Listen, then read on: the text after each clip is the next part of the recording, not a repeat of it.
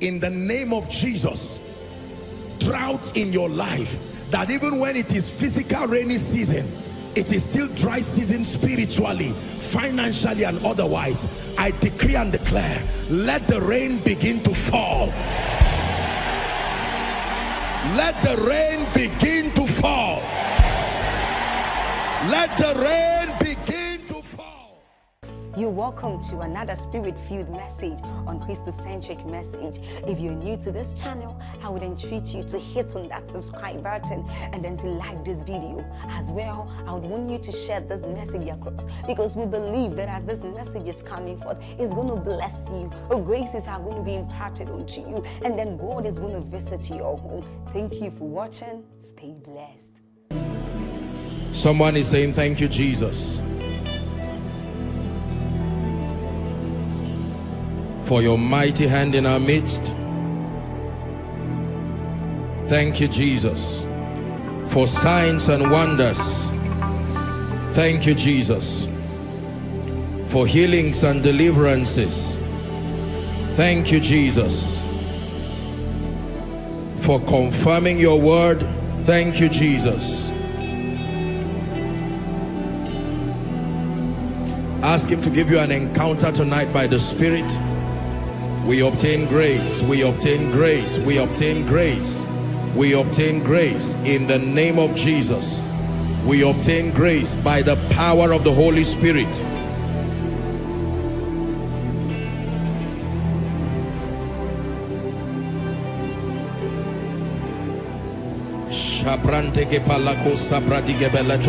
Someone is praying.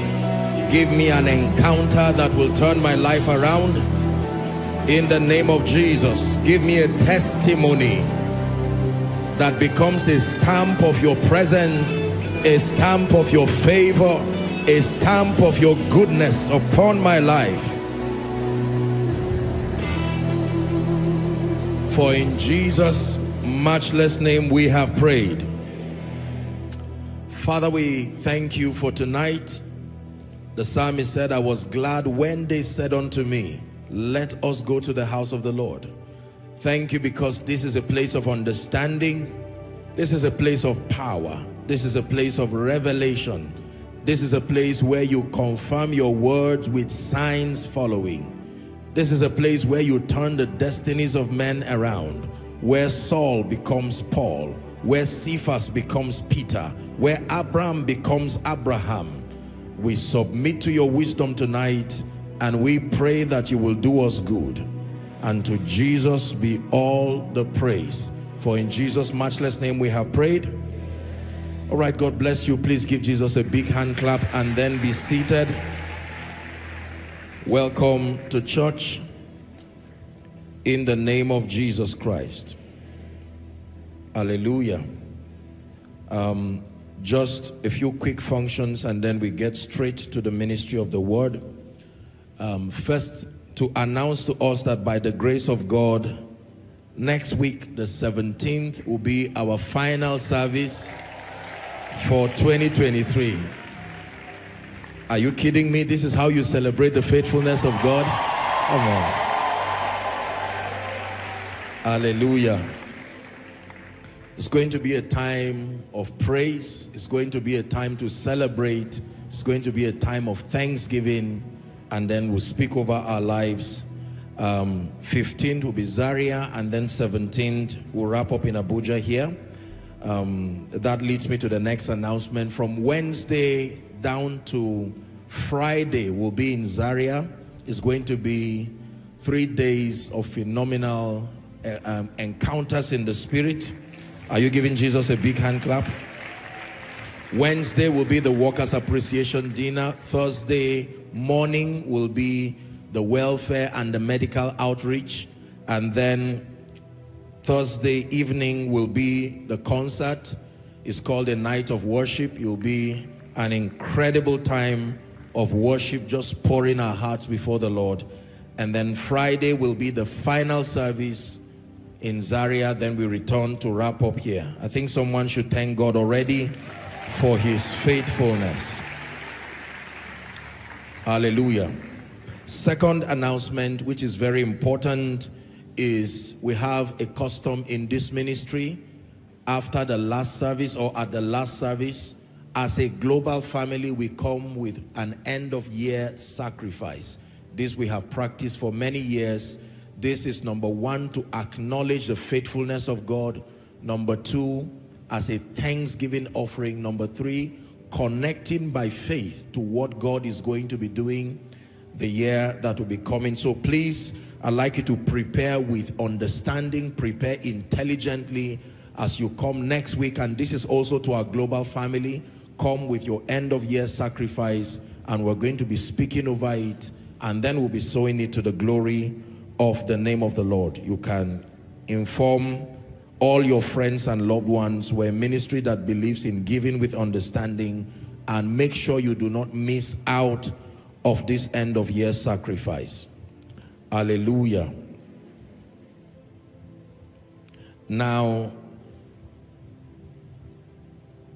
I'm truly, truly very honored tonight. Um, we have in our midst not just our royal fathers from my hometown, but the entire traditional council. They came all the way from Langtang North and South led by His Royal Highness, the Ponji Zini himself, the acting president of the Joint Traditional Council. Come on, these are my people. Would you give them a big, big, big honor? This is a house of honor.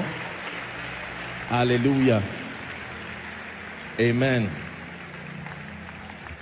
Now, the interesting thing is this the entire royal fathers, they literally represent the entire traditional council where I come from.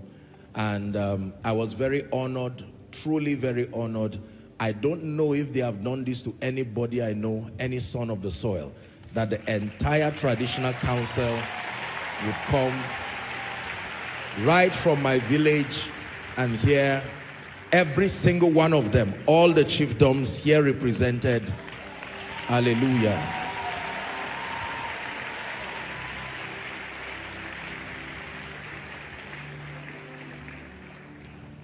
Ladies and gentlemen, please listen to me. You see, it is one thing for an individual to love the Lord, but when your territory, represented by the royal fathers, decide to come and honor Jesus themselves, that is already a miracle for that territory.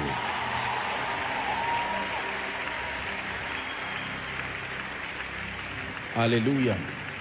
Praise the name of the Lord.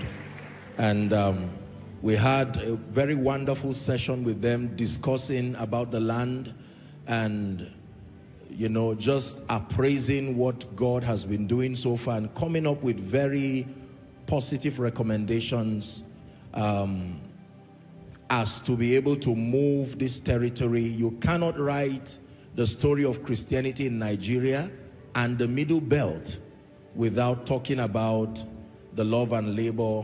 My people are typically warriors. I come from a lineage of warriors. But then, in as much as that is true, they embrace the gospel and it is by it that it was able to spread around. Hallelujah. And so, I believe that what is happening in this place tonight is prophetic, not only for my people, but is going to become a model we have sung endlessly here that there are kings and there are kingdoms. There are mountains and there are thrones. But that in our life and by the light that is helping us to shine, that only Yeshua. Hallelujah.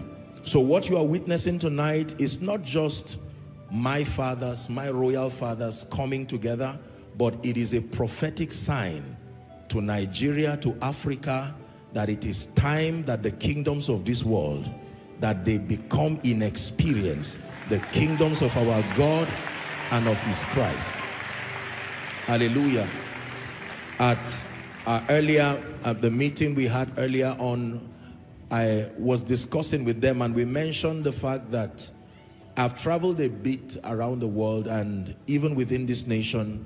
And I remember a place that I, I, I visited and they showed me the pulpit of the missionaries people like Samuel Ajayi Crowther, Joseph Johnson, These were people who loved the Lord. And I remember in that story, the person who was giving us the narration told us that that land changed when the king officially embraced Jesus. There is something about citizens independently embracing Jesus. But when kings that represent the gatekeepers of territory say, as for me and my kingdom, we will serve the Lord. That's what happened in Daniel chapter 3. Nebuchadnezzar made a decree that no one would defy the God of Shadrach, Meshach, and Abednego. Hallelujah.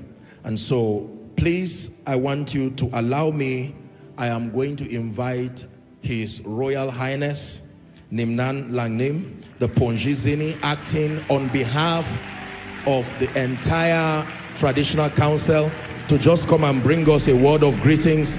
Please, honor our royal father.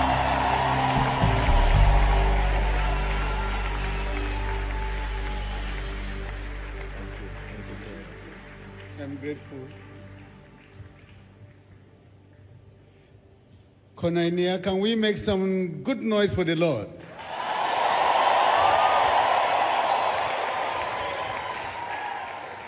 I wouldn't want to take so much of your time, but I give God the glory, the honor.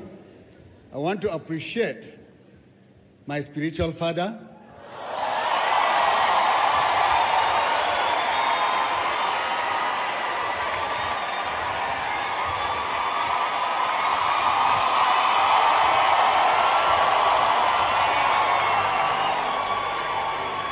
I also want to appreciate the entirety of Langtang Joint Traditional Council.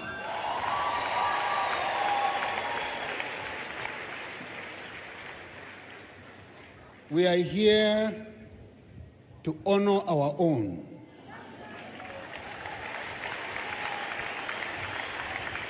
We are here to bless Jesus and we are here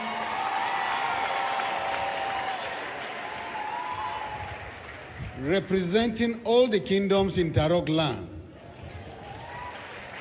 to surrender the entirety of our land to Jesus.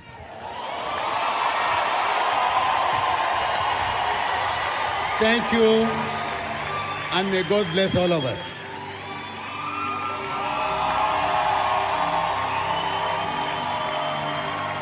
Thank you. Let's give Jesus a big hand clap.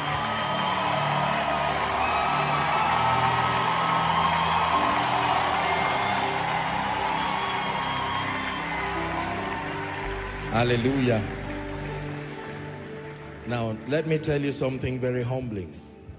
One of the major reasons why they came was that they made up their minds as the kings and as the entire territory that they traveled all the way to come and hand over the entire Tarok nation to Jesus. I do not know. Listen, I have seen awakenings. I have seen moves. But this is the first time in my life I know that kings together representing an entire nation and are coming to say we are kings. There's none of them who is missing. All of them are complete the entire chiefdoms. I'm not aware of any. Hallelujah. It is one thing to be a blessing to people around the world, but when God visits your own land, it is a great blessing. Hallelujah. It's been our prayer, it's been our cry that God will restore something that my people lost years ago. Hallelujah. Historically, not to bore you, but just, just give me this honor for a few minutes. There are people who have the mantle of warriors. They live on mountains. There are people who are warriors in the spirit. I'm sure that you can see it in the regalia of His Royal Highness himself is an emblem of not just royalty, but strength. You see that. And you see it reflected even in the Nigerian army and several other things. Is a grace that God gave the people. and they embraced the gospel. But along the line, some of our forefathers, for whatever reason, we still honor them.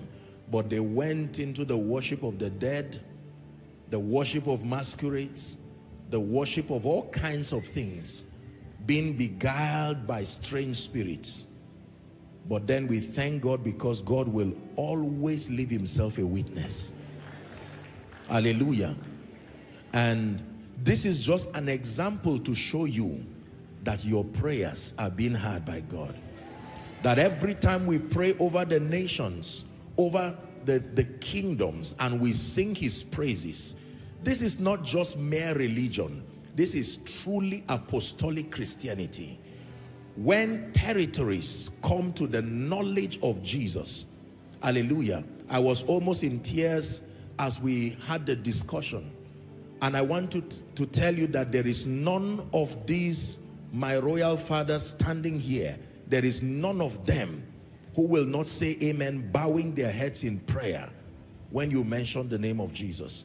I have not seen that happen. I know you can have a council where one or two people love the Lord and then others are just doing their thing.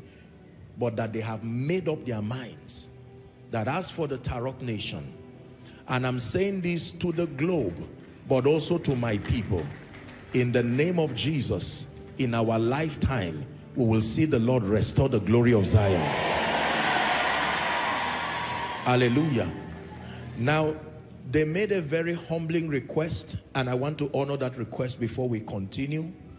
I am going to respectfully ask the entire Royal Council to please come up on stage and just be here and they have requested that the entire Koinonia global family should pray for them.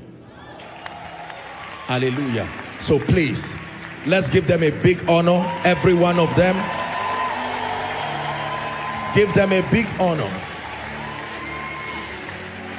Adonai, Lamb of God, you are worthy, worthy of my praise. King of kings, Lord of lords, let your kingdom reign in my life. Adonai.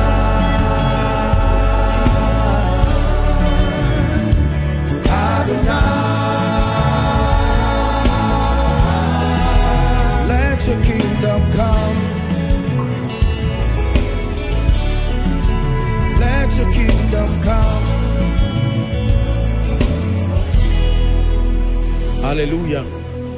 So ladies and gentlemen, I'm honored to be standing close to these great men who represent literally without exaggeration the entire traditional council of the Tarok nation and they have requested that we pray as a global family they are our fathers in the flesh but by the privilege of God's grace they have discerned that which God has placed upon us and I'll ask them to stand. Please do not kneel, us.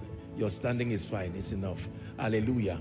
But from the depth of your heart, by the privilege of priesthood, may I request Koinonia Global. I know there are people following from the United States, Europe, Africa, pastors connecting from across. Please pray for my land. Pray for the nation. Pray for my fathers. In one minute. Lord, we establish righteousness. We decree and declare, let revival come upon the Tarok nation. Let our sons and daughters call upon the name of he that died and rose again. Someone is praying. Use the royal fathers as a point of contact. Let there be economic revival, educational revival, healthcare revival. In the name of Jesus we hand over this nation to Jesus the entire Tarok nation. In the name of Jesus you belong to Jesus the son of the living God go ahead and pray in one minute Father like you did in Fiji Island, like you did in Europe, like you did in America, like you did in the history of Nigeria. Visit our land again. Visit our people again. Visit our children again. Visit our sons and daughters again. Visit our fathers again.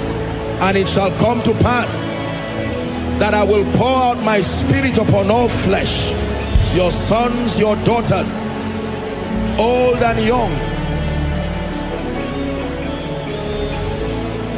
In the name of Jesus. In the name of Jesus. One more prayer. Political power will come and go, but royalties remain until death. Hallelujah. The government we had 20 years ago is not the government we had 10 years ago. In fact, the government we started this year with is not the government that is currently in power. At best, you have eight years as a president or a governor, and then you come and go. But the royal fathers remain. That means for any impact to last beyond the political power, the fathers must receive that agenda. Are we together? We are going to use our fathers in one minute not to keep them waiting as a point of contact. You will now pray for your land. Lord, if you have done it in the Tarok nation, reproduce it in my land. Go ahead and pray. We're using the Tarok nation and this revival that is beginning. Go ahead the north, the east, south and west, south, south, southwest. Pray for every clan, every tribe, using the model of this that has happened tonight. We decree and declare by the power of the Holy Spirit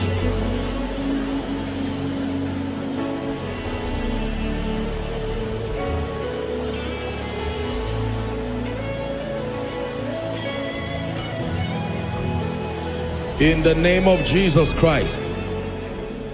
In the name of Jesus Christ. So I will pray now. We'll pray in that capacity by the Spirit of grace. Father, it is an honor to lift up the beautiful Tarok nation that you have so honored and lifted. It is out of that nation that we have come and you have granted us the grace to make our contribution as far as blessing the earth is concerned. That every sound that men hear from us has come from this ancestry. And Lord, we honor our fathers and we honor this nation for the foundation and for all that you established.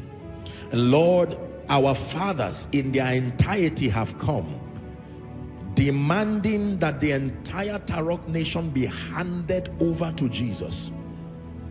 And so, Father, I stand by this apostolic and prophetic mantle. In the name of Jesus, standing as your servant, I decree and declare in the presence of our fathers, we speak to gates. We speak to territories. Over the Tarok nation, hear the word of the Lord. The kings and the priests have agreed that Jesus and his power and his reign alone will be seen there. As far as dominion is concerned, it is the business of the king and the priest. And prophetically we stand here that the king and the priest are in agreement. We say Maranatha.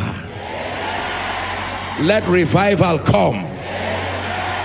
Let our sons and daughters arise let many Joshua Selmans arise. Let greater than Joshua Selmans arise. In education, in politics, in military, in ministry, in the name of Jesus. By this declaration, we declare that the spirit of untimely death comes to end over our land the spirit of poverty comes to end over our land every covenant that has come with the worship of the dead the worship of all kinds of negative ancestral powers I stand by the privilege of priesthood we rattle that spirit to its foundation We declare liberty to our sons and daughters. In the name of Jesus. Father, we declare over the Tarok nation, Jesus and him alone is Lord. Across the entire chiefdoms, across the length and the breadth of this region and this nation, let Jesus alone be exalted. Lord, we pray that everything that has held us down as a people, finally the exodus comes. Our exodus into Canaan in the name of Jesus. Therefore, in the presence of the fathers of the land and in the name of he who died and rose again, I stand by this apostolic and this prophetic mandate and we declare this land dedicated unto Jesus in the name of the Father, in the name of the Son, and in the name of the Holy Spirit. Give Jesus a big hand clap. Thank you, sir. Thank you. Thank you. Let's honor them as they return back to their seats. Come on, Koinonia, give them a big, big God bless you. Please usher them. Are you still clapping?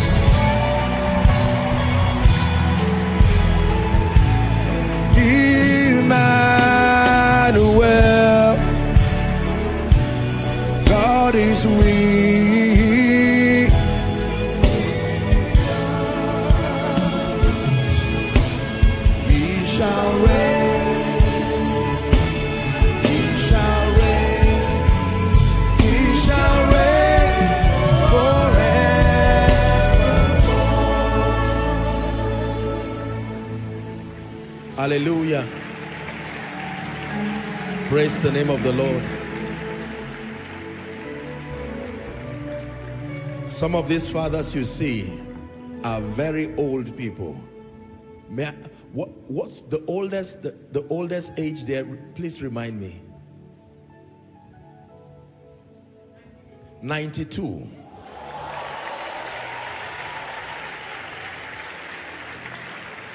Hallelujah. Thank you again, Your Royal Highness. May God bless you. Please let's be seated.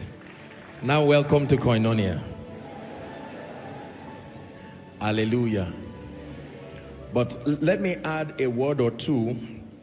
Um, we had very extensive times discussing with our royal fathers, and um, honestly, it was a burden to me because among the many things that we discussed, we zoomed down on two very important things that I believe is in desperate need. And I'm talking to everyone, but I'm also talking to my people. Number one, the fathers agreed that there needs to be a miracle in the healthcare system of the people within there. And I think it's not just peculiar to them. I think most religions have a serious problem as far as healthcare is concerned. I was so burdened. And then number two, the issue of education. I've been burdened. There's no tertiary institution, not one, in my entire region. And yet, professors have come out of there, very intelligent, noble people. It became a very serious burden for me. And of course, we have done our bid and we continue to do our bid in terms of education. Um, it's an honor that God has given to be able to, to make contributions to help the sons and daughters of the soil to be able to have their educational experience. This we have done faithfully and also committed ourselves to build boreholes across you know, the territories. We have started the goal, the next phase now is to take it from its current number to have 50 boreholes stationed across the entire length and breadth of the regions. Now, because it is a mountainous region, there are other areas where no matter how deep you sink, you will not find water. And, um, you know, it's, it's very important. But I was really burdened when he spoke about education because a territory cannot be developed until institutions are planted there. When there is a university or there is a polytechnic, With it will come commercial activities from housing to transportation, feeding, stationaries and all of that. This is how development happens within a territory. And then healthcare, when healthcare, when something is wrong with healthcare, every other thing goes down. Hallelujah. And so we'll continue to make our contributions. I know and I believe, and I'm speaking to the globe, perhaps the international community, and you're hearing me, and there are agencies that are passionate about making active kingdom investments and contribution. Let me recommend a place for you. You may want to consider coming to do a university or coming to do a polytechnic in my region, and I think it will be a great blessing to the people. But healthcare, I'm hoping that God will grant us grace. It's, it's not a promise, but it's really a burden as a result of the discussion. I'm hoping that God will grant us grace, if possible, to be able to build a hospital, you know, and yes, so that um, it can help to improve. But for now, we, we will have to do something. It's my commitment, and I discussed with them already that we'll try, even if it's to put a week long and bring in doctors, you know, and then have them treat some of the people, just send whatever it is. It is better than nothing. We cannot wait until the day that a hospital is there. For the boreholes, we'll keep building, and for the children, we'll continue. We're only stepping up the scholarships that we have been given so that it can now help the people to tertiary institutions and then help them completely until they are done with their program. And um, we have done this and will continue to be faithful. So um, I'm really speaking to people, not just here, but across the globe, that you are burdened and you want to make active contributions in the area of education, the area of healthcare. Why not? You can prayerfully consider and um, you can be guided on what to do. But I'm praying for everyone here that a day will come, your people will recognize your contribution and they will come to acknowledge God publicly in your life. This is what impact is all about. It's not just about having a name for the sake of a name. It's not about building an empire, but that we're able to live our lives effectively, making a mark. We're not called to do everything. But you see, global transformation starts one person at a time. For every one life you impact, you have reduced the number of people who are left. One person, one person, one person. This may be a message for someone. Everyone wants someone to do something for them. But the world is looking for people who will be selfless enough to be able to make their contribution. That at the end of our lives, it will not just be the cars, houses, estates, travels, but it will be that you were able to make a significant contribution. This is the purpose of prosperity. This is the purpose of influence. This is the purpose of access. This is the purpose of lifting. Dr. Myles of blessed memory will say, when the purpose of a thing is not known, abuse is inevitable. Hallelujah. So thank you again for helping to honor uh, the traditional council. And once again, we truly honor them. And we pray that the Lord himself will bless them for this bold decision that they have made and reward them in Jesus' name. Are you ready for tonight? Tonight, the teaching would challenge us. It's a contemplation and um, Many of us are going to find greater meaning to our lives as a result of this teaching. Many of us will find direction for our lives and destinies according to this teaching. Many of us will find reasons why perhaps we may have been stagnated in life and destiny as a result of this teaching. I trust that what you're about to hear will truly challenge you, for others remind you, for someone shake you and give you a reason to be able to face life with determination and to live your life in such a way that at the end of your life it will be said that you lived well and you lived a meaningful life. Hallelujah. I'm teaching on the topic that I titled choose life. Choose life. Choose life. Choose life. Joshua 24, 13 to 15. Choose life. And I have given you a land for which you did not labor, and cities which ye built not, and ye dwelt in them, of the vineyards and olive yards which ye have planted, not do ye eat. 14. Now therefore fear the Lord and serve him in sincerity and in truth, and put away the gods which your fathers served on the other side of the flood, and in Egypt, and serve ye the Lord. 15. And if it seem evil unto you to serve the Lord, he said, choose you this day whom ye will serve, whether the gods which your fathers served that were on the other side of the flood, or the gods of the Amorites, in whose land ye dwell. He says, but as for me and my house, we will serve the Lord. Someone make that statement. We will serve the Lord. One more time. We will serve the Lord. Deuteronomy chapter 30 and verse 19. Deuteronomy chapter 30 and verse 19.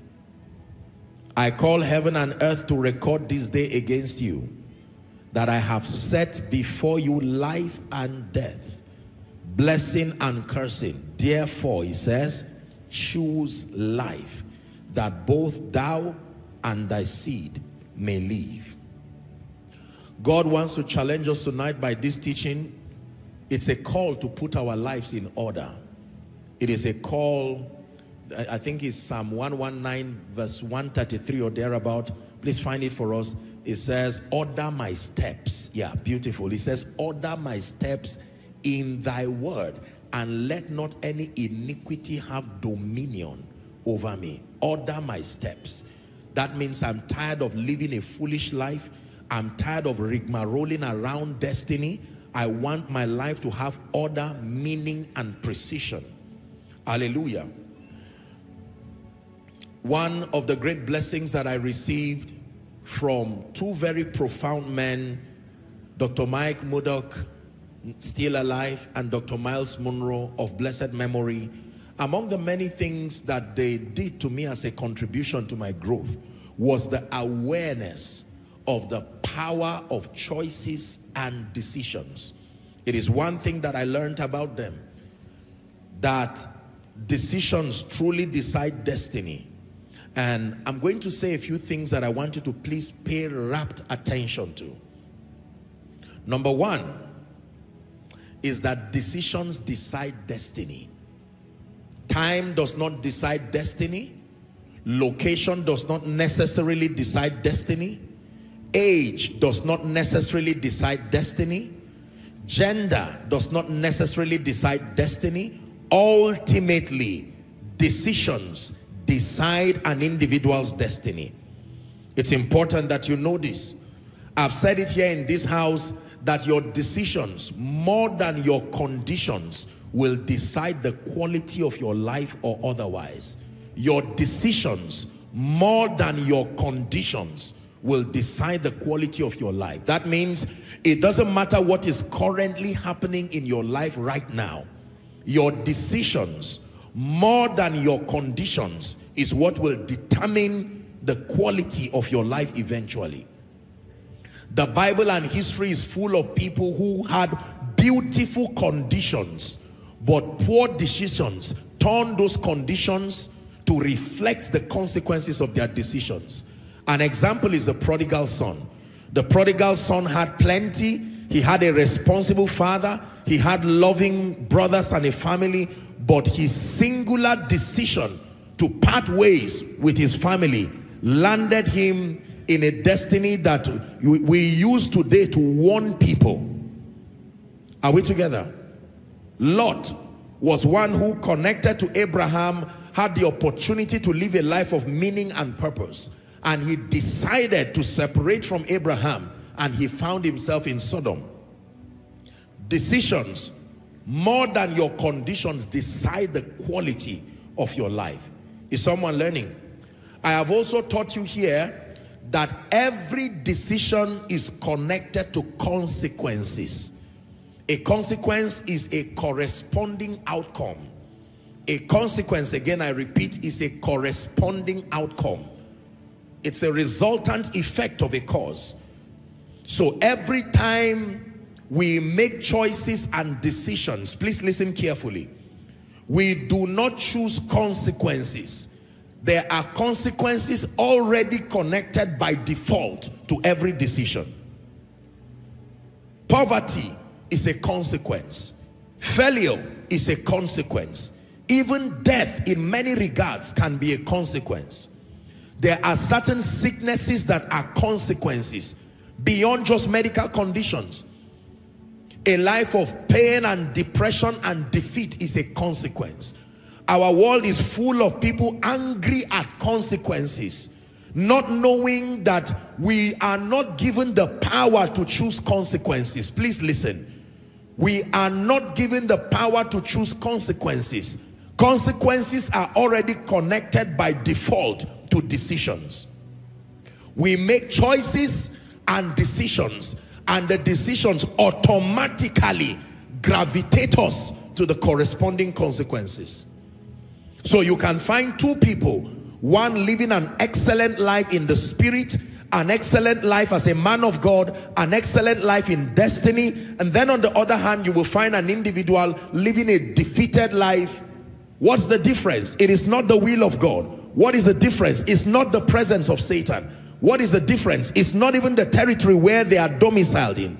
Ultimately, their decisions, there were consequences connected to those decisions. To one, he made a superior decision and benefited from a positive consequence. To another, he made a poor decision and the decision delivered without fail the consequences. Every one of us right now is living in the reality of consequences. Are we together? Everyone. Living in the reality of consequences. What you just watched a few minutes ago is a decision that was made. Now you there are consequences that follow this decision that was just made. Consequences of health, life, advancement. Decisions are so powerful that God himself reminds people that I set before you life and death. 30 and verse 19 of Deuteronomy. I set before you blessing and cursing. I set before you life and death.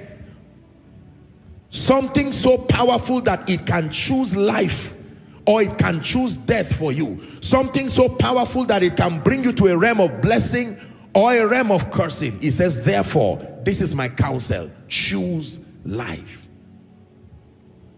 Hallelujah. Now write the following, please. To choose means that you have to be aware of all the other options available. To choose, this is the implication of making choices. That to choose means that you have to be aware of other options. Maybe not all other options, but other options that are available alongside the outcomes they create. Please listen.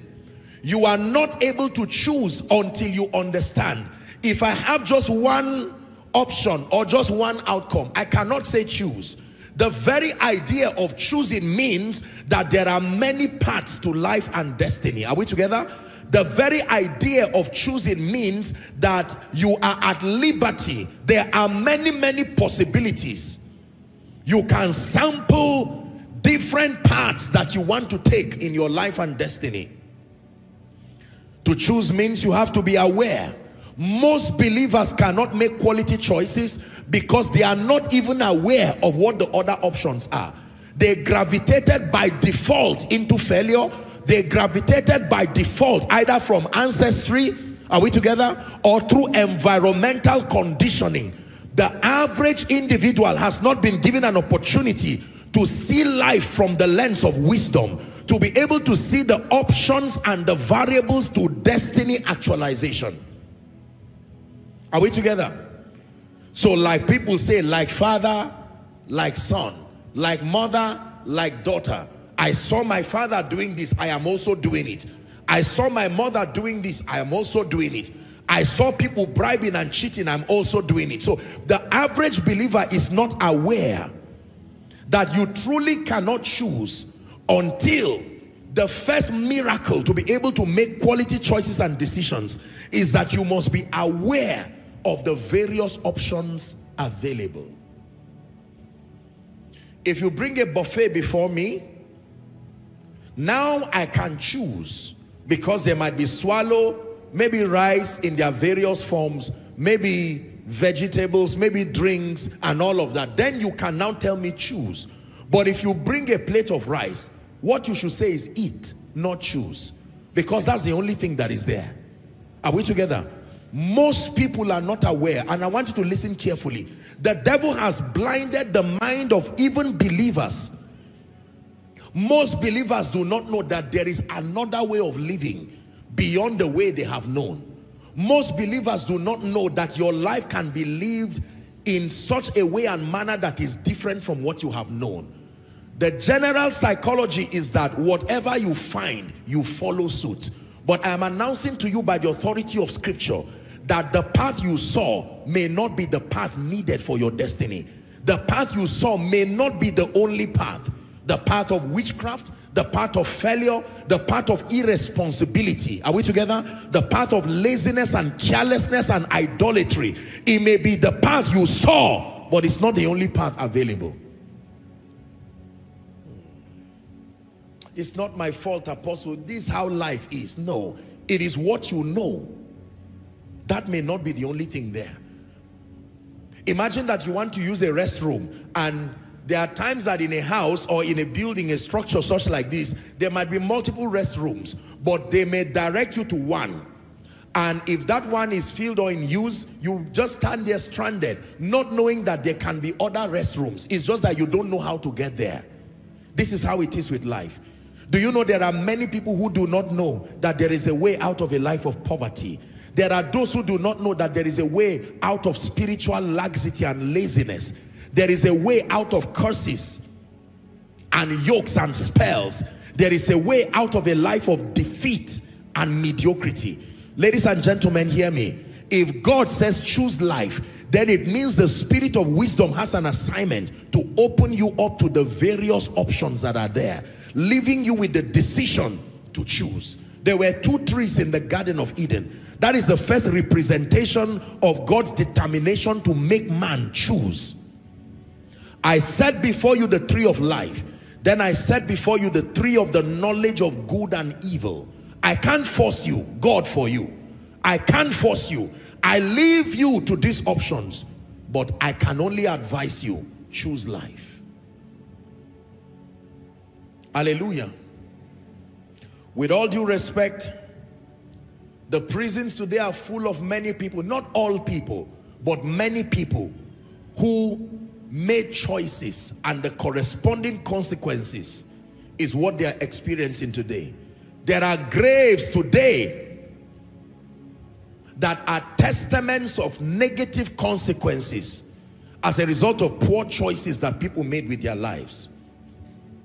To choose means you have to be aware of all the options that are available. Please look up. Let me list for you at least four options that are available.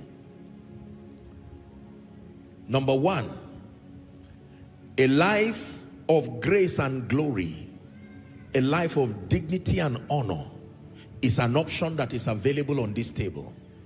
Grace and glory, dignity and honor is an option you can choose from.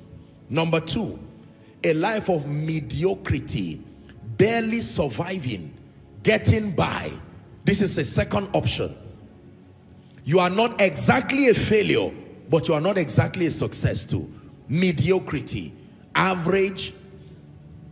Number three, a life of total confusion with no sense of direction. That is a third option that can be there grace and glory, dignity and honor, mediocrity and an average life, barely getting by. Third option is a life of total confusion, living from pillar to post, hoping you are right. And finally, a life of total defeat, total defeat, failure by every definition. Every one of these outcomes that I just mentioned have decisions connected to them. There is something you need to do that makes you have a life of dignity and honor, a life of grace and glory. There is something you need to do that makes you a mediocre. You don't just become a mediocre. You don't just become an average. No, there is something you need to do. There is something you need to do that leaves you confused or not do that leaves you totally disoriented as far as life and destiny is concerned. As a preacher, as a parent, as a leader, and there is something you need to do or not do that leaves you a total failure and one who is an epitome of defeat. I set before you life and death. I set before you blessing and cursing. And I advise you, choose life. The second thing I want you to know is that to choose life means to conclude on a path to follow after a careful examination of the various outcomes they produce. I'll take it again, then you listen. To choose life or to choose means to conclude on a path to follow. To choose means to conclude on a path to follow after careful examination of the various outcomes they produce.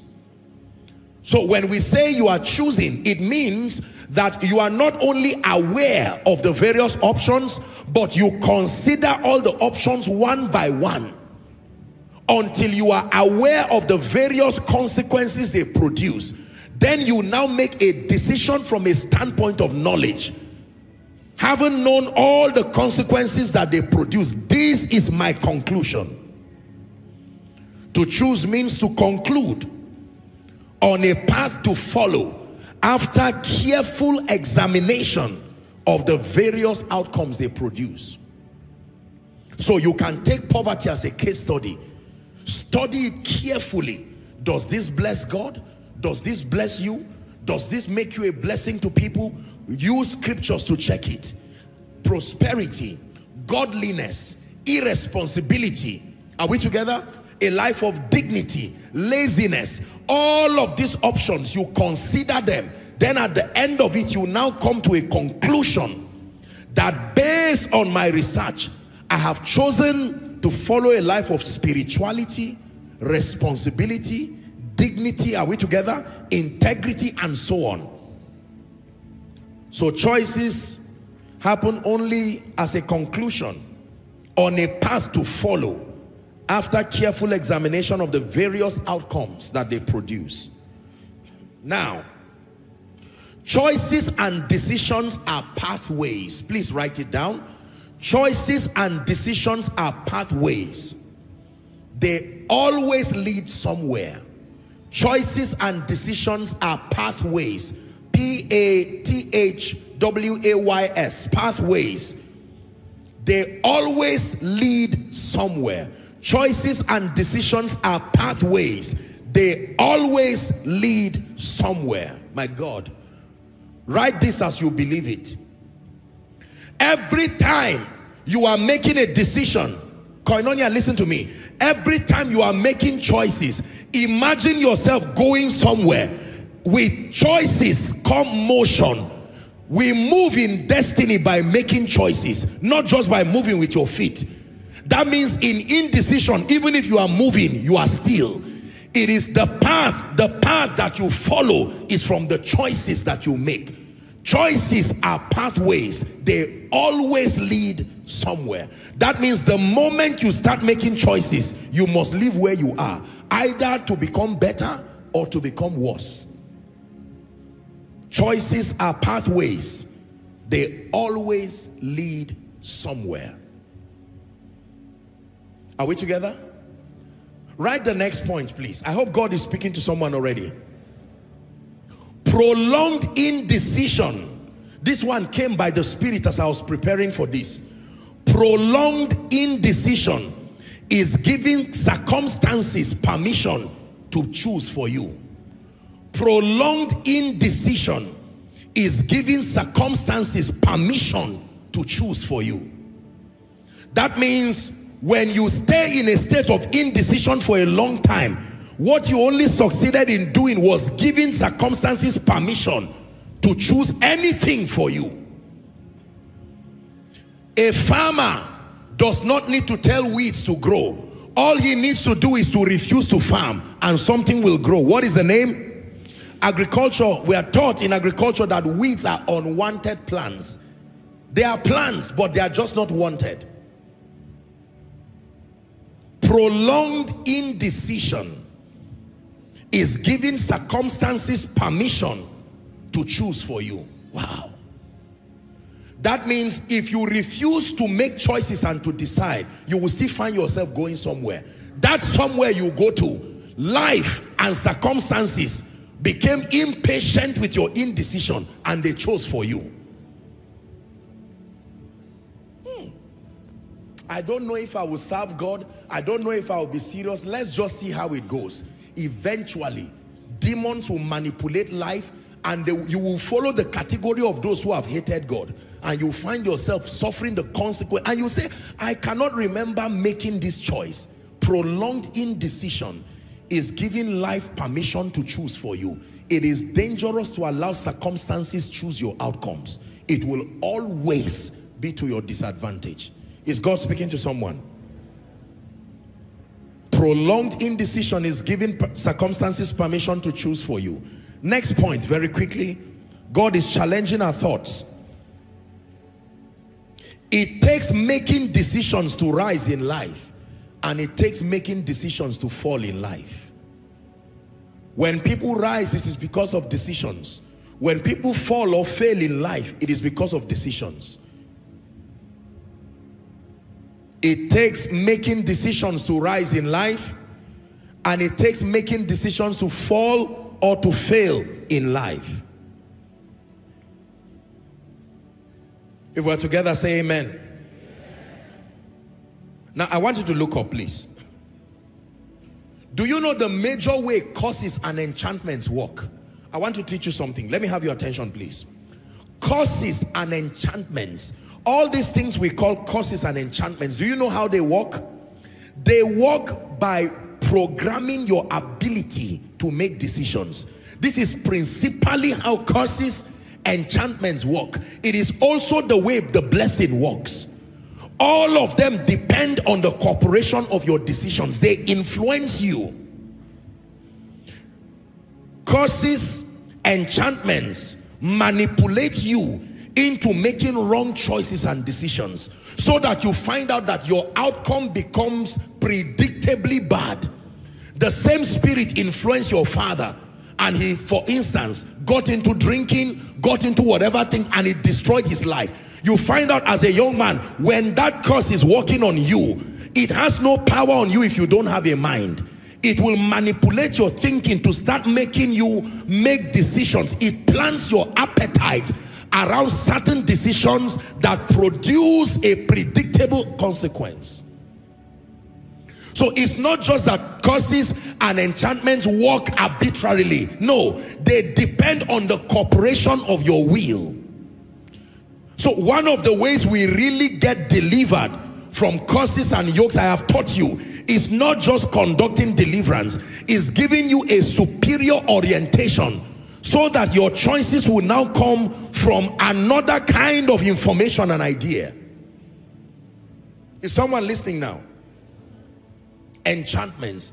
I have seen people who will tell you from today I will behave well. From today I'll be a nice person. And this spirit, they manipulate the person. Now I hope you know it's not the spirits that carried your two legs to the place of trouble. You went there by yourself. They influenced you. The same way when the blessing is on you, it will make you to have an appetite to come to church. And the day you come to church, that is the day your word will come. The day you come to church like the dear lady who gave the testimony, that is the day that you will meet your employee. And one thing will lead to the other. That is how the blessing works. So when I speak over you and say be blessed, among the many things the Holy Spirit is doing, it's not just a force that rests on you and vetoes your will. It begins to guide. I don't want to use the word manipulate. You don't use that for the Spirit of God. But it begins to culture and influence your thinking. Are we together? And you will start making pro-life decisions, pro-prosperity decisions, pro-responsibility decisions, pro-development decisions. You can always know what spirit is influencing you by the kind of decisions you are making and the outcomes that follow. Are we together? If you find out that your life is always ending in pain, you are getting into trouble, all kinds of troubles, it is either you are wasting the ministry of the Holy Spirit through rebellion and stubbornness, or it's not even the Holy Spirit who is there in the first place. I hope you know that many spirits can coexist within a man. The madman in Gadara, a good lesson. Peter, even though he was with Jesus, Jesus rebuked Satan from him and says, Peter, Satan has desired to sift you like wheat, but I have prayed for you. And Peter did not even know when Satan entered him. The Bible says Satan entered Judas. So Judas's desire to use Jesus to make money was not ordinary. His will was there, but the assignment of Satan was to manipulate him. How many of you have seen a puppet? This thing they do for children. You put your hands inside and then you are making the thing sing. Now, it can be so real, you forget that it's actually a human being's hand. Are we together? But if you drop that thing without the hand, it has no power. The singing and the dancing happens because someone's hand is controlling it. I'm praying for somebody. In the name of Jesus Christ every decision that has landed you in trouble landed your family in pain poverty a life of mediocrity a life that is far from God I'm praying for you by the spirit of the living God. Let a miracle of deliverance happen for you tonight. Hallelujah. It takes making decisions to rise in life and it takes making decisions to fall or to fail in life Failure has a formula. Are we together? Unfortunately for failure, you don't have to learn it to experience it. The formula was designed to find you and act upon you in the presence of ignorance.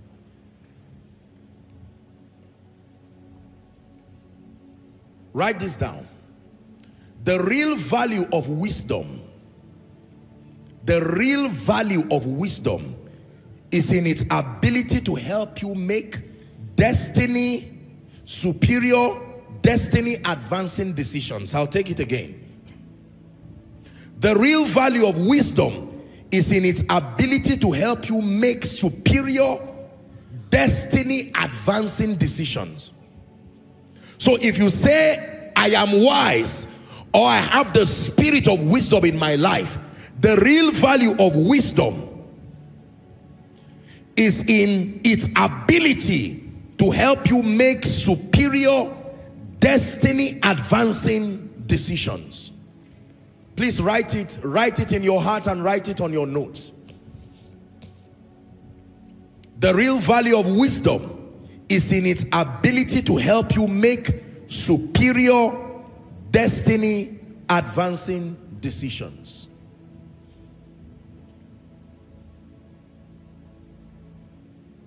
There are many people claiming to be wise. There are many impartation services with all due respect that purport to impart wisdom. But we do not see the excellency of wisdom in the life of believers because believers are still surrounded by very foolish decisions that they keep making again and again and again. And the moment you see that the effects of the decisions that you make is not leading you towards a desired heaven, it then means you are bankrupt of wisdom. The Bible says, does any man lack wisdom? My question is, how do you know you do not have wisdom? By the outcomes of your life. You can know that I'm bankrupt of the wisdom of God by the outcomes. Listen, the real value of wisdom, it's in its ability to influence the quality of decisions that you make. When a man carries the spirit of wisdom, most if not all your decisions will be superior destiny advancing decisions you can always know whether it is wisdom speaking or another spirit speaking by the quality of decisions are we together now yes Listen, this issue of decisions, I remember many years ago, I would hear Dr. Murdock would say, decisions decide destiny. I, I got what he was saying, but perhaps I did not understand the gravity of what he was saying.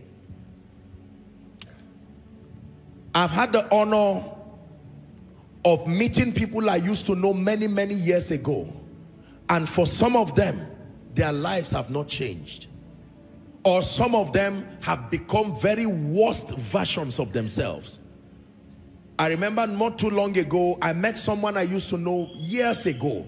My goodness, his life was not something to write home about. I had to honestly ask him what happened. But then I was asking something that whose answer I already knew. Decisions. Decisions. Your conditions can be great, but your decisions will superimpose your conditions and bring you into a negative consequence if they are poor decisions. Whereas for another, you can come, you can have negative conditions surrounding you and make quality choices and decisions that end up bringing you to your desired heavens. I respected the power of choices and decisions when I came into a position of leadership and I understood how serious choices and decisions were. Do you know that one decision can make you a bad father forever? One decision can make you a bad mother forever. This is how powerful it is.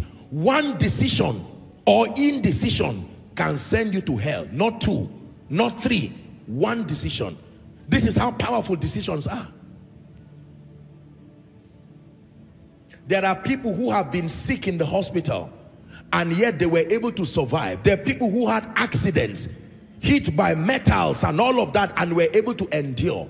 But one decision you can make, it will not injure you physically, but it can literally define your eternal destiny. Whoever told you that choices and decisions are a cheap matter to play with? I can tell you sincerely, you are where you are right now, looking at me, especially if you hate where you are.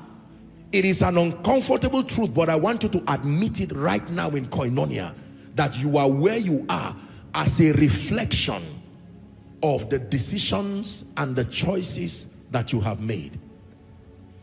Apostle, everybody hates me. It has to be demonic. I agree. But those demons require something to work on. And you donated your will through ignorance or your passion to not get knowledge and cooperated with them in bringing yourself to this current state. Can I tell you, your real deliverance begins the day you admit that I am where I am, comfortable or not, because of the decisions I have made with my life. Hallelujah. There are many people who have made foolish decisions in the name of smartness. Now, when the devil wants to deceive you, he changes the name of the consequences to attract you. Are we together now? Yes. Satan will call poison sweet or whatever it is. And then because the name changed does not mean the outcome will change. Are we together now? Yes. If you carry rotten food and you package it and put it in a beautiful cooler, does it change the state of the rotten food? It is still rotten. It's only the container. The only thing is that it will deceive more in that state, but it is still rotten food. This is the game Satan has been playing with many people. Repackaging destruction in many packages that seem pleasant. And someone will come to the shop of life and destiny and your eyes will go straight to something that has the power to tear you into pieces. But because it is packaged so beautifully, you will say, this is what I want. God will respect you. Satan will rejoice with you. You make the choices. And then when you now buy it, you are forced to eat of it because this is what happens. Choose life that you and your children may live. I had the option of being a serious man of God or otherwise. I have the option of leading God's people with integrity and truth or otherwise. Are we together now? When you choose, it is the conclusion of many, many alternatives that you have thrown away. But the excellency of the decisions and the choices that you make, it is demonstrated in, you see, let me tell you this. You cannot fake choices forever. No, it will catch up with you. The consequences know your address more than DHL. They will find you. You make choices and travel anywhere, they will fish you out. It's not like this one that they'll say, where's your house? And be going around, you know, the delivery man will be tired because he cannot find where your house is. Even if you decide to go to a place where you are alone, the choices are so powerful. With digital precision, they will look for you.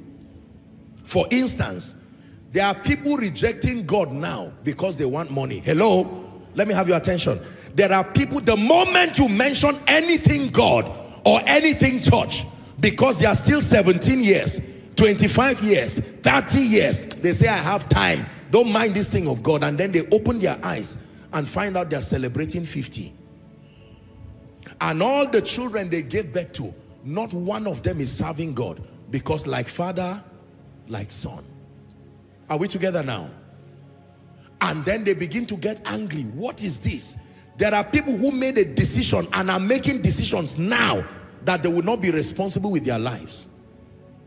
They will wake up and find out you have 50, 60 years. You have not built any house. Your grandchildren, your children are still living in one room with all due respect. One way the devil distracts us and robs us of the power to choose is giving excuses and offense. These two things. Excuses and offense are Satan's weapons of mass destruction. The moment you master the art of giving excuses and then you bring yourself to a life of offense, you will never have the capacity to make quality choices.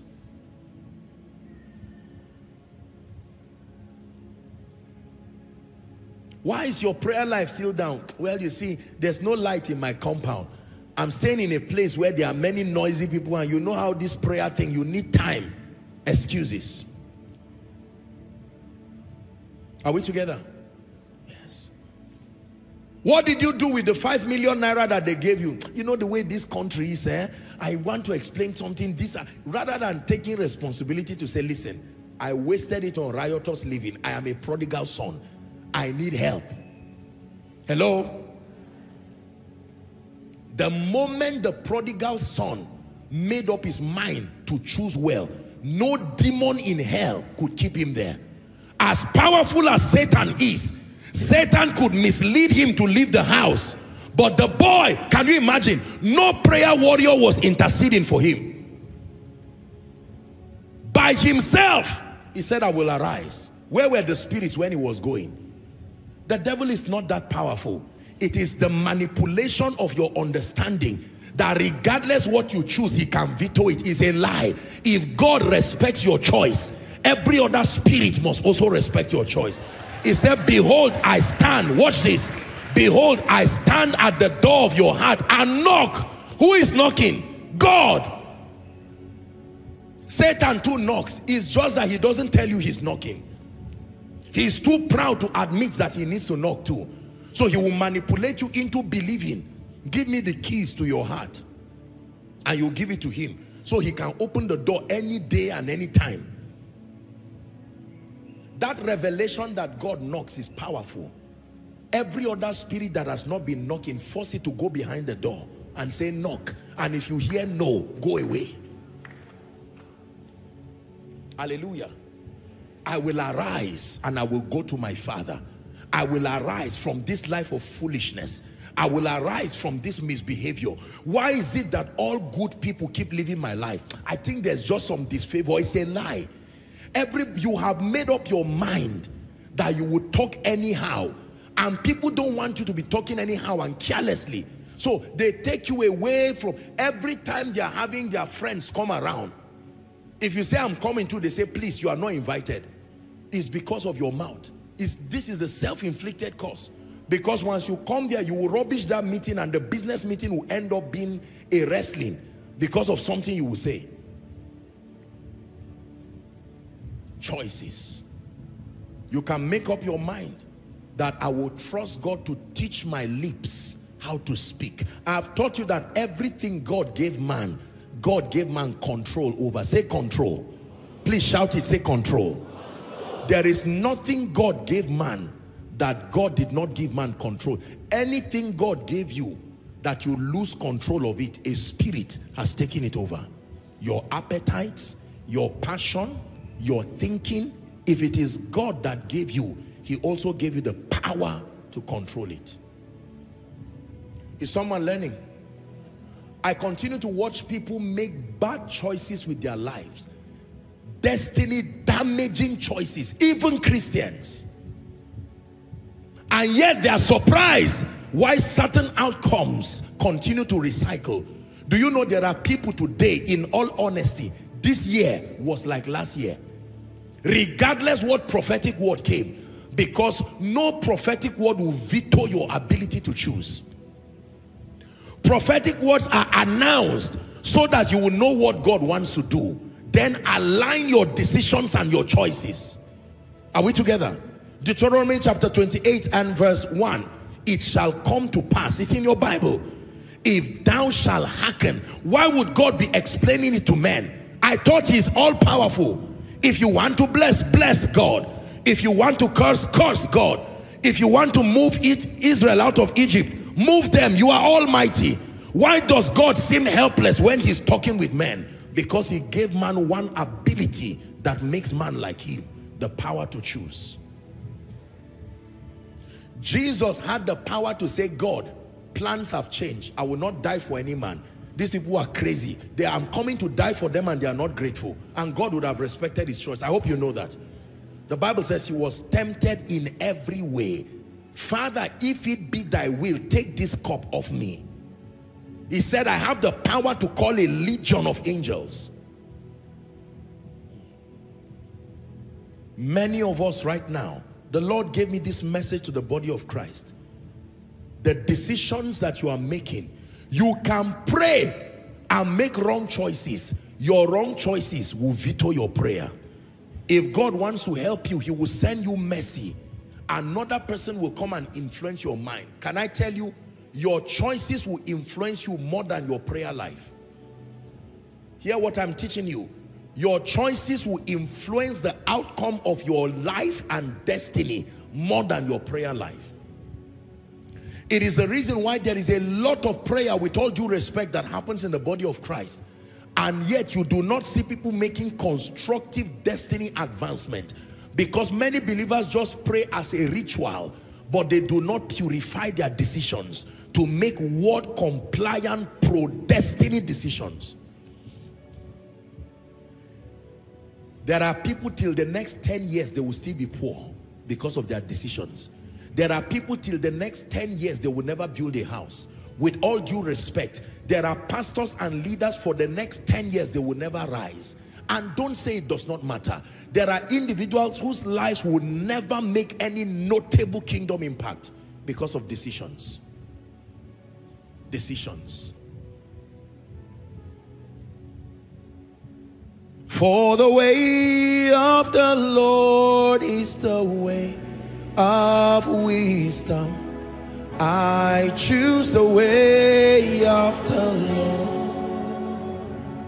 For the way of the Lord is the way of wisdom. I choose the way. You've heard me say it here in Koinonia. If you come from a poor family, don't let a poor family come out of you. If you come from a family of witchcraft, don't let witchcraft come out of you. If you were raised with all due respect by irresponsible parents, don't waste the time arguing and hating them. And then you wake up and see children all around you and they call you daddy. You are almost tempted to say you are not my children. But time has gone. Many of you right now, you are wasting time in anger. You are wasting time in bitterness anger and bitterness does not lead you to your desired heaven. The day you settle down and choose, Apostle, I was raped when I was small. I sympathize with you. I don't downplay your pain. But if you stay there complaining, you will get to 40 years, 50 years and not make any quality decision. Apostle, I, I hate my parents because when other people were going to school, they were there around dancing around masquerades and the result now is all of us are poor. What are you doing about it? They have run their own course. Can I tell you, in my world, I have taught you koinonia. In my world, an adult is not 18 years. I respect that statistics, but it's a deception to many people. There are many, many adults calling themselves children. In my world, the moment you can decide and you have an awareness of the consequences, you become an adult immediately. How soon? Immediately. Let's stop pampering people to produce destructive destinies. You see someone 35 years, 40 years, and he says, I'm a last one. What does that mean? Of course, I'm not being sarcastic. Yes, thank God that you're so. Destiny does not care, ladies and gentlemen. The one who decides, if it be thou, bid me come. He said, Come. The one who chose to walk out on water was the one who experienced that miracle. Hallelujah. Our world is full of commentators who never make choices and decide. They comment about those making strategic impact and they cannot jump out of that water. Our business people, I'm ashamed of them. Something as easy as this and they will never do it. Preachers who are talking like ah, that scripture is not really correct and yet they will never do anything impactful. The world does not reward commentators. It is those who get up and, and do something with their lives. Are we together? There are many people who insulted fathers, insulted mothers, parents now. Now is their turn. Their children are suffering worse conditions now. If your father and your mother, with all due respect, lived a mediocre life, the first way out is to find another father and mother who reflects what you want to become. I told you that the principles of followership is twofold. Number one, follow them. Number two, looking on to Jesus. This is how we become in the kingdom. Follow them is the first principle of followership. There are some them that represent where you are going. Do you know why God creates, puts leaders in front of you? Those leaders are an attempt to model your future that where you want to go to. So leaders are a personification of outcomes, a personification of decisions so that you can see the outcome in the life of others. Seeing somebody fail and then you go and fail again, you are the one who is twice as unwise because they already failed for you. The beauty of leadership is an opportunity to see the scars of people. They will show you their scars that I made this decision and this is the consequence. Now I am teaching you to save you the 20 years I wasted in my own life, a leader will say, and yet many people will not respect it. I have taught you here in Koinonia that do not only respect crowns, respect scars. Because both crowns and scars are teachers. Any man you see wearing a crown, look very well beyond the regalia, look at his hands, you will see a scar. A scar, a testament of wrong decisions, a testament of endurance, sometimes a testament of right decisions. Is someone learning? Ask, bring sample 10 young believers. Someone who would tell you, I'm going to be a great man of God. And ask him, what are you doing now? He will tell you, well, uh, once in a while I listen to some messages if I have the time to, and then I just know what I'm focused on writing what God told me. My dear minister in the making, you will never arrive there by that behavior. No. No. There are many like you who wished ministry. Unfortunately, it does not happen by wishing. The Bible says, walk out your own salvation with fear and trembling. Walk it out. Hallelujah. There are many gentlemen right now. They cannot tell me the last time they read a book. A quality pro-destiny book. Many gentlemen cannot tell the last time they open themselves to receive quality strategic mentorship. Receiving mentorship at your terms is a joke. You will never amount to anything. It's like a teacher, a student telling the teacher, I'm not ready to learn now. Just be patient. Allow me rest. When I'm ready, I will call you. Teacher says nonsense. Are we together? How many people are poor and broke today but will never respect the wisdom that comes from people who have been helped by God. No. Hallelujah. You want to become a great mother and you see a woman who is exceptional with her home and her children and you disrespect them. Do you know every time I see great people, I look past their results I want to buy into their mindset because their results are consequences. Did you hear that? Their results are consequences. There are decisions that led there. And I want to hear it. What is your understanding like? What are your decision-making processes like? Man of God, what decisions have you made that brought such power, such grace, such influence to your life? Let me sing that song again. For the way of the Lord is the way of wisdom. I choose the way of the Lord. Now, let me tell you this.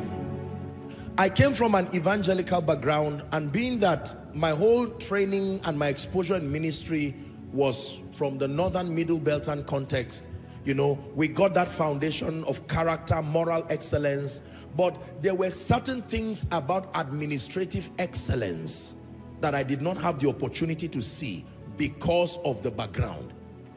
As God began to expose me to a global audience, I knew that there were some things I did not get by the advantage of my background. And I, I will have to reinvent myself. And so back to the formula of followership, follow them, looking unto Jesus. There are things that them cannot teach you. Because the them too are students. It's just that they have gone ahead.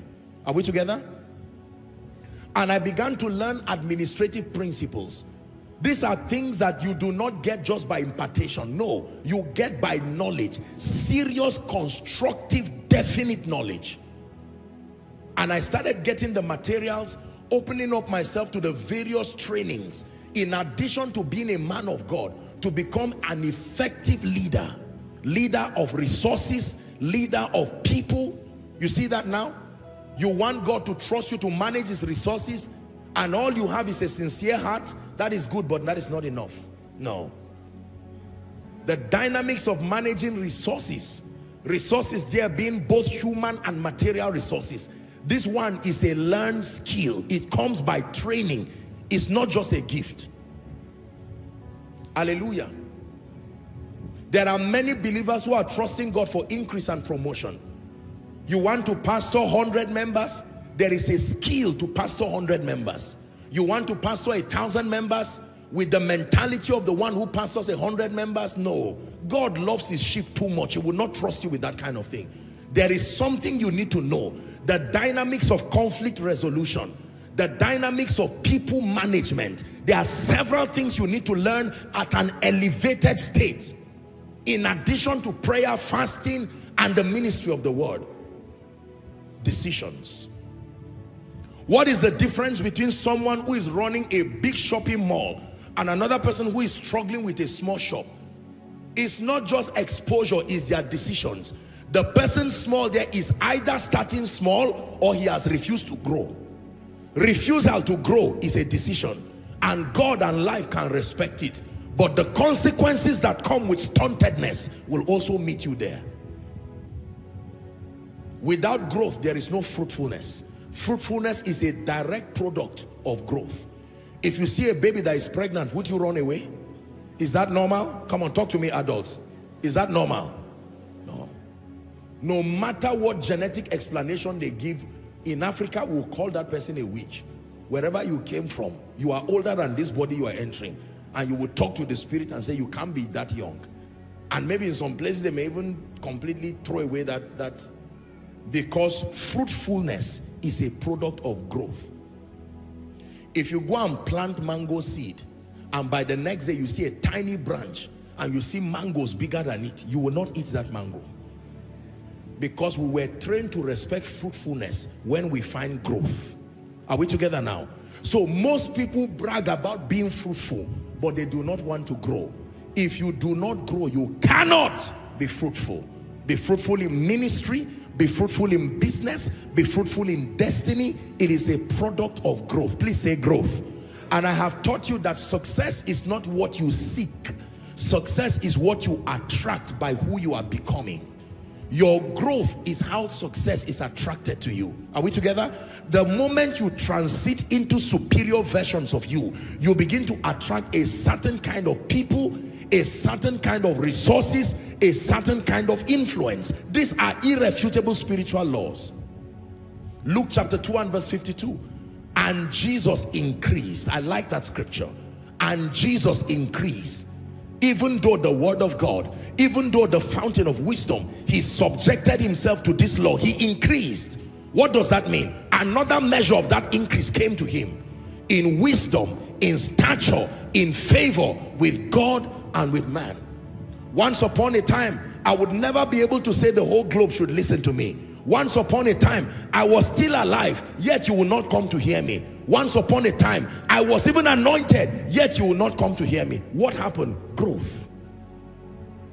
Growth. Once upon a time, it will be foolishness and a demonic attack for me to want to go to another nation and organize a conference. Where will the money come from? And if the money comes, where will the people come from? And if the people come, the level of grace to defend that call, say growth. This is very powerful. There are many people praying for realms that they are not willing to grow into and it will never come.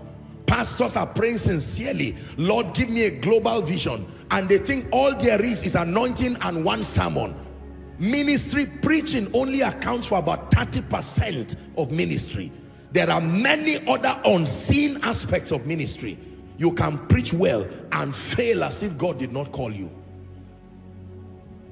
Breathe, Lord, breathe, breathe, Lord, breathe, breathe upon my life.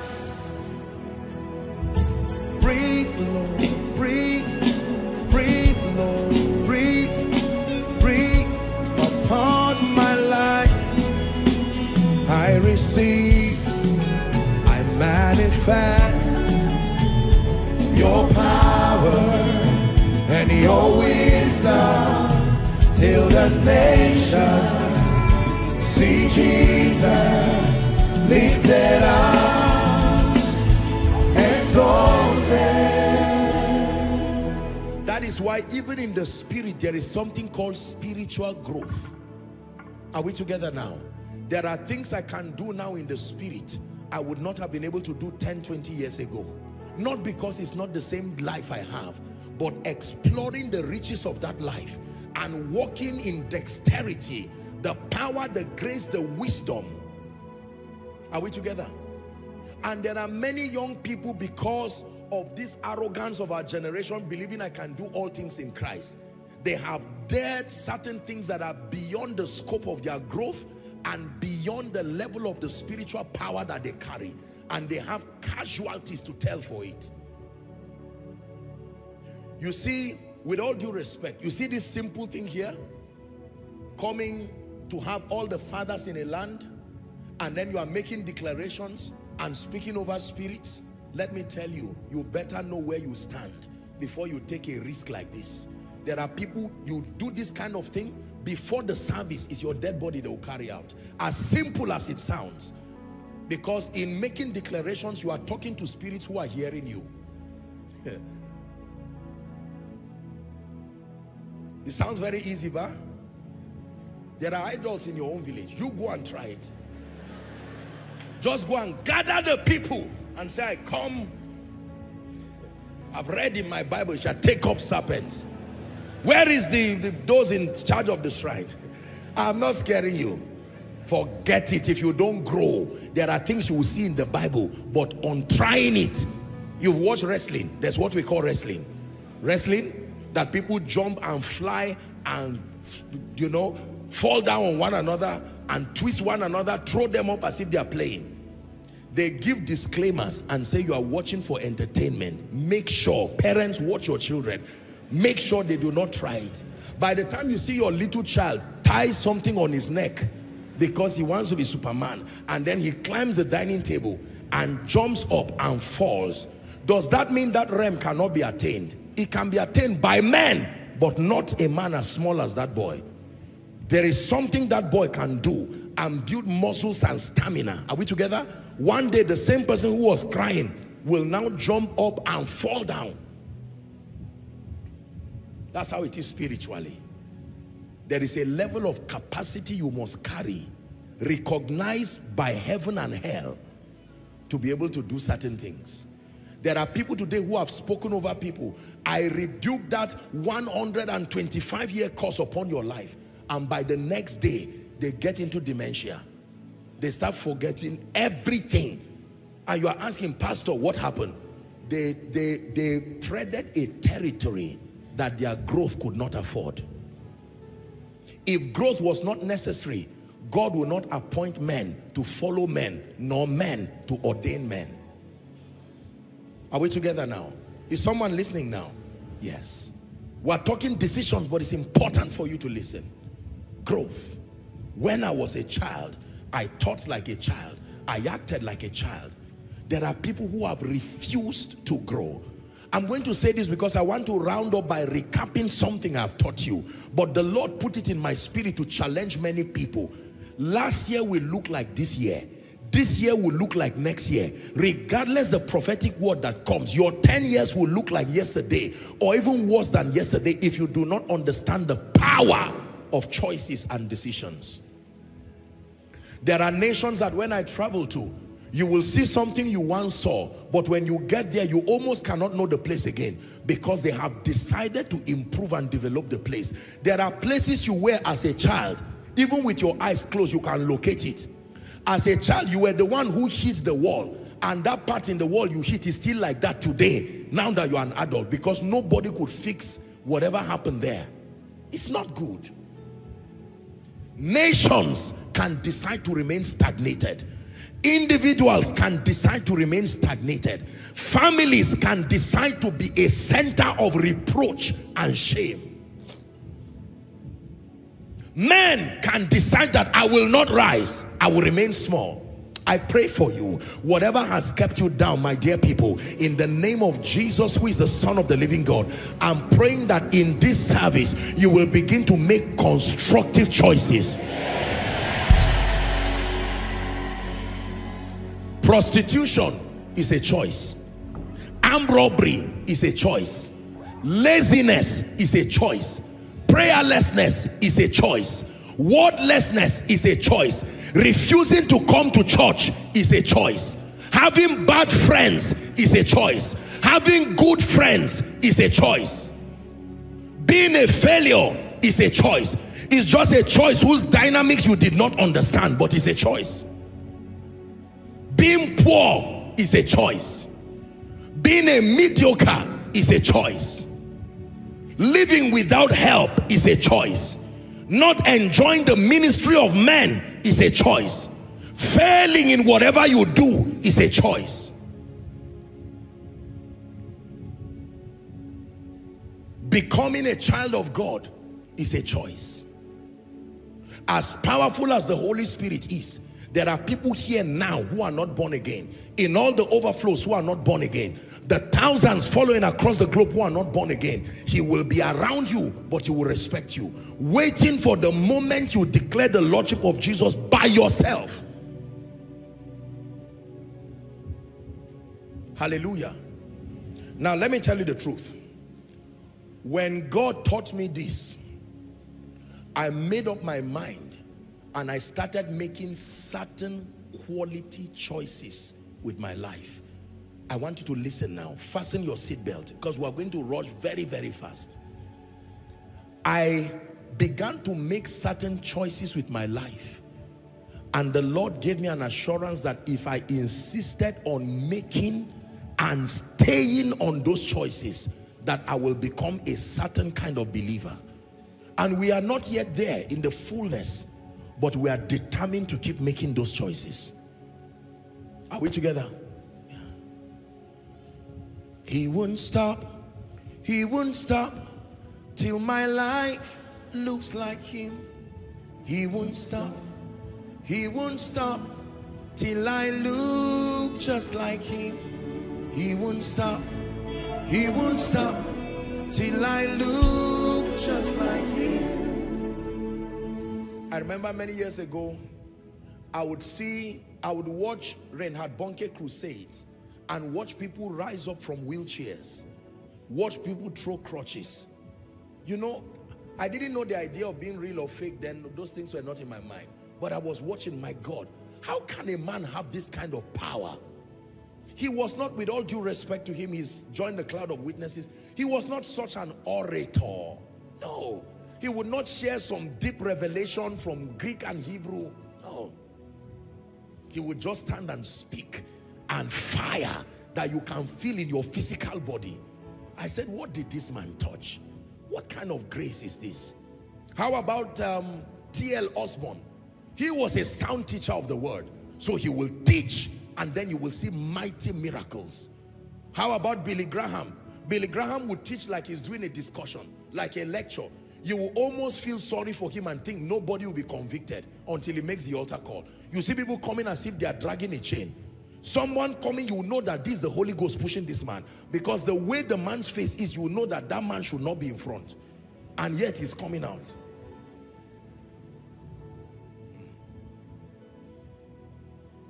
But today as preachers, we will shout and shout and shout and even beg people, even kneeling down. Okay, can you come to Jesus? Then we stand up, we raise a song again. We say, I know there's one more person. Come on, don't be ashamed. And, and there are many sinners watching.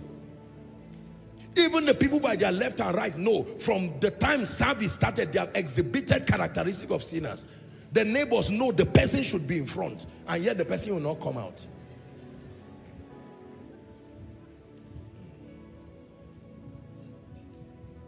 Hallelujah.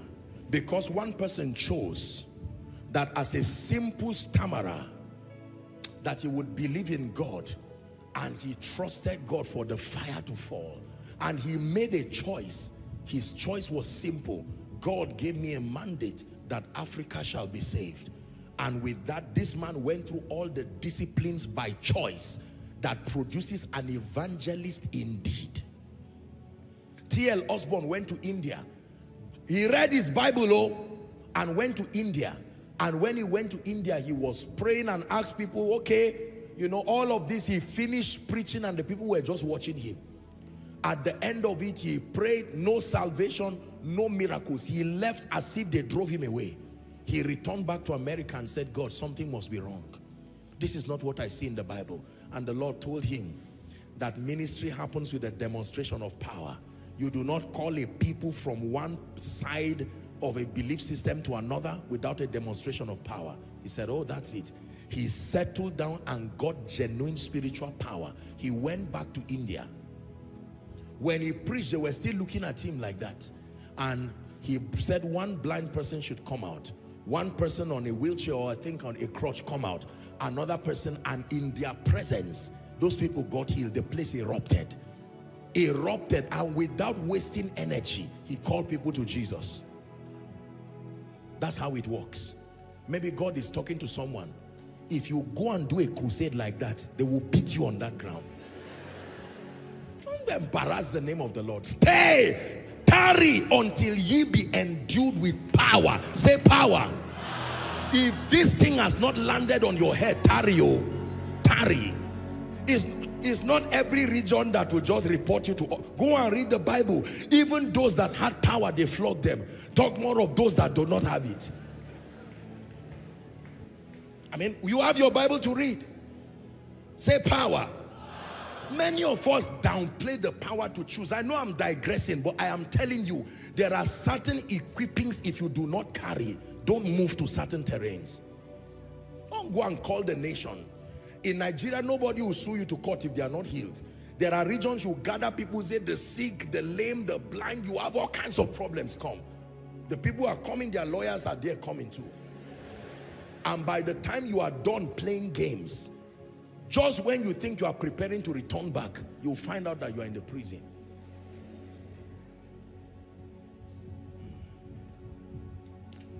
Hallelujah. Choices. Have you chosen to love God? Or are you just loving God? Have you chosen? Let me tell you something about choices. The fact that choices become deliberate, it gives you the staying power to maintain and defend your decisions. The moment you do not make a deliberate decision, listen to me, the energy to remain until you reap the consequences, the outcome of that decision is not in you. That means if I choose today that in the name of Jesus Christ, I am going to become a great person, for instance, do you know the fact that you made that decision, the way God designed it is the energy to stay there even when you are in the pit. And Daniel purposed in his heart, give it to us, Daniel 1 verse 8. Daniel purposed in his heart that he would not defile himself with the portion of the king's meat. It doesn't mean he was not hungry. Decisions are powerful. The staying power, the power to endure comes from making conscious decisions. The day you make up your mind that I'm on a journey to get spiritual power, the pain of fasting will no longer affect you. Believe me, every time you feel weary, the, the fact that you have decided, the fact that you have decided, that is why before we fast here, we announce to people that we're going to fast and this is what it's for. Do you know why? Because if you just join carelessly, by 10, you almost feel like you are sick. Because the staying power is not there. Let me tell you why many people cannot push until their destiny emerges. They have not decided. You want to be rich, but you have not decided. I'm not talking of a hustler. You have not decided. You have not seen the need the day you settle down and say, Lord, this is my Bible. I choose that from this day forward, my children will not beg for bread again. Can I tell you, even if you are saying that in a one room, the entire energy of heaven that needs to support your growth, many people have not chosen to stop what they are doing. Men, there are people without prayer, they told themselves, I will not smoke again. I'm telling you, without a preacher. It was a decision they made. And the day they made that decision, either because they told them you have, um, what's this thing that you get when you smoke? Liver, huh? lung cancer. They tell them, Mr. Man, the day you touch one uh, this thing again, that day you are going to die. Out of that fear will come a decision. No prayer, no fasting. They just decided from today, that's the end of it. Can I tell you the truth? By the privilege of God's grace and without any sense of, of pride, there are things in my life today. It's not just a free gift.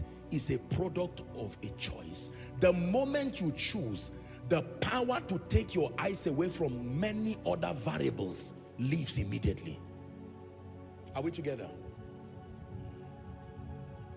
Apostle, I want to pray, but do you know, I pray, there is a grace that comes, so, but that grace respects your choice.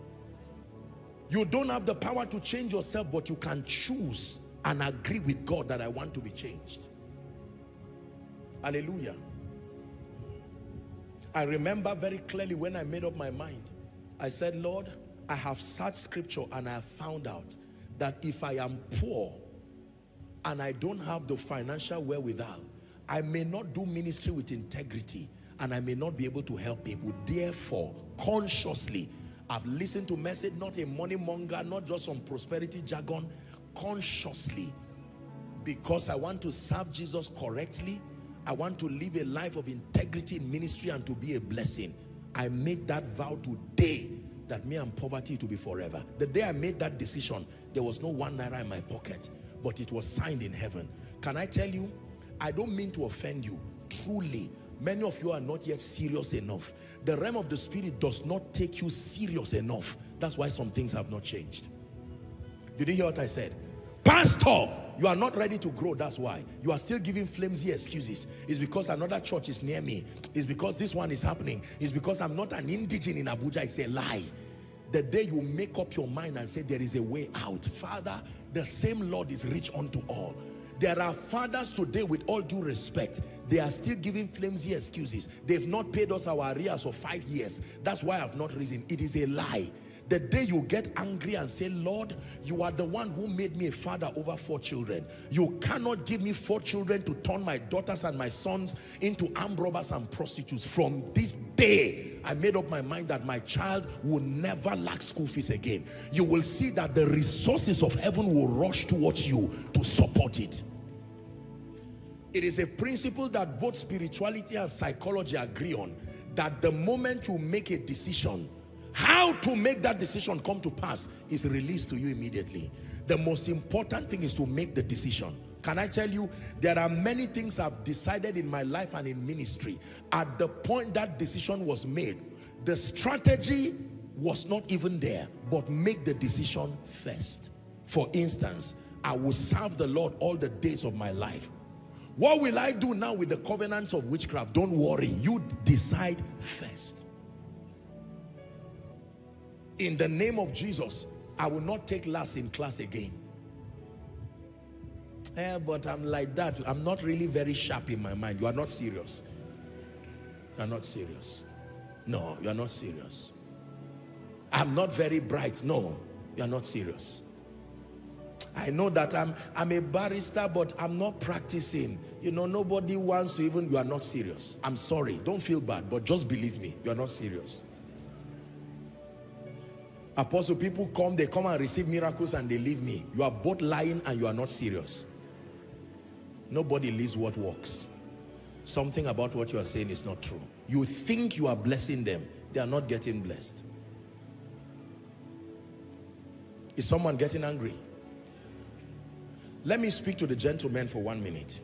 I want you to vow a vow. Uh, you know, I, when I talk to you like this, I talk to you in love. There are some things you must choose to never let happen in your life. One, that I will love the Lord with all my heart. I'm, I'm going to run through those things for you. Number two, I will be a responsible person as a leader and as a father no gentleman in Koinonia should raise irresponsible children. You cannot pay their school fees, transferring the responsibility to your wife and saying, after all, the Bible says two have become one. It means you have been wasting my energy here with all the preaching that I've been preaching. Honestly. Apostle, you are only saying this because somebody will give you a seed after Koinonia. Where were they when we started? Decisions.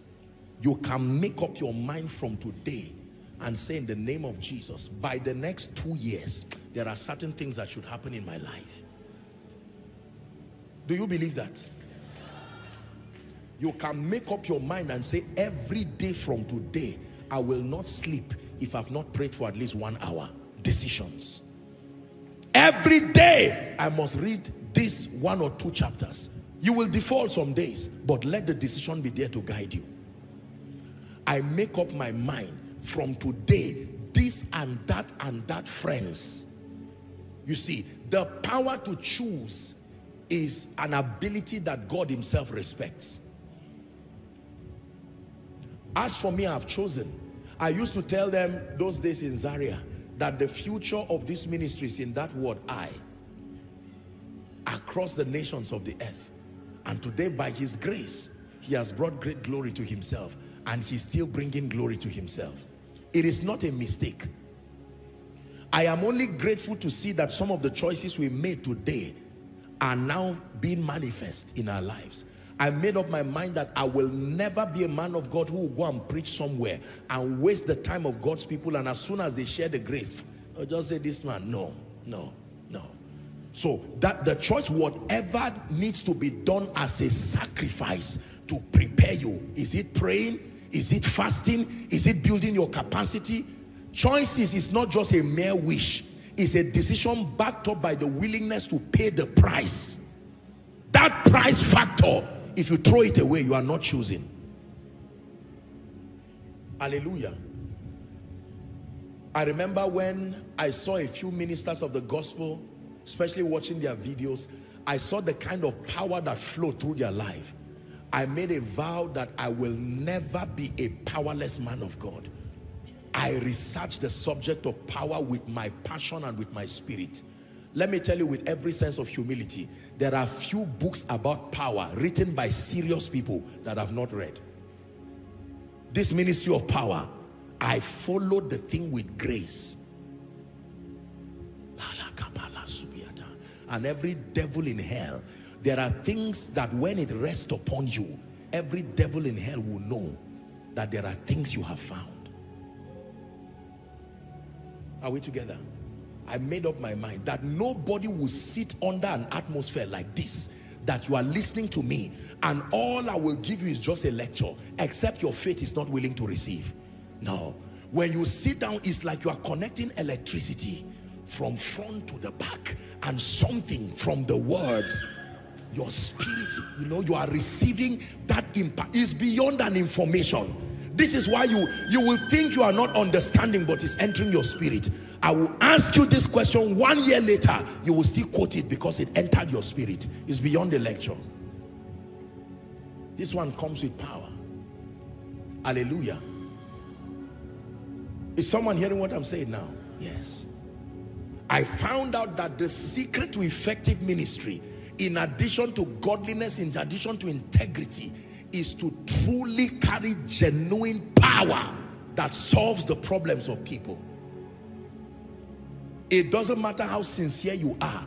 If that power, you can do acted power, stage managed power, or assume power. You can assume you are powerful.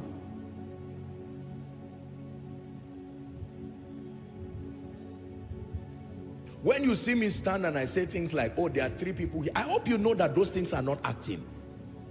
I respect God, but I respect myself too.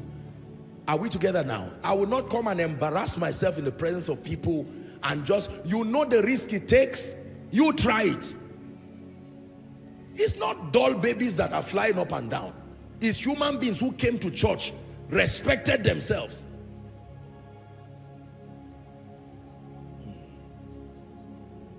My own is to train my discernment that as it's coming from heaven, once it lands, it's like, it's like, it's like a receptor that is so sharp. As soon as it arrives, I'm ready to declare it. That's why you see what you see. It's not like God just isolated somebody and decided, no, no. Discernment is a quality that can be trained. You can train your spirit to pick signals with such precision that what God is saying in a moment, that's why it looks like as you are saying it is just happening, is the level of the development of discernment. Hallelujah. Are we together now? I'm saying this because I want to pray over you today. Huh? One of the graces that I'm praying will rest on you is the power to now begin to make quality choices. Quality choices. Remember my teaching at the miracle service that rise up and walk is greater than silver and gold. You can have silver and gold, but the greater blessing is the ability to rise up and walk. To choose that my children will not beg again. To choose that my spiritual life will not go up and down again. Ah, I set before you life and death I set before you blessing and cursing. I set before you a life of pain, a life of misery, or a life of glory. I advise you, choose life. Your choice will affect your seed. I saw certain patterns growing up around my territory. I saw certain, certain patterns around people who had gone ahead of me. And I made up my mind I said, I will fight a good fight of faith and end certain things now. Let them end in my lifetime, in my presence. If it means me being the living sacrifice, let me be it. But there are certain things that must end. That's why I said some of you are not yet angry enough this sermon is supposed to provoke you. If you sit down and keep watching your life like that, what happened to your mother will happen to you. I'm telling you, I'm not a prophet of doom. Gentlemen, if you sit down, you know what spirits have done with preachers in your area. If you just sit down carelessly like that, the same thing will happen to you. You must take a different approach. I will not be the man of God that will finish preaching. There once upon a time I preached and demons attacked me. Not today, not again, not forever.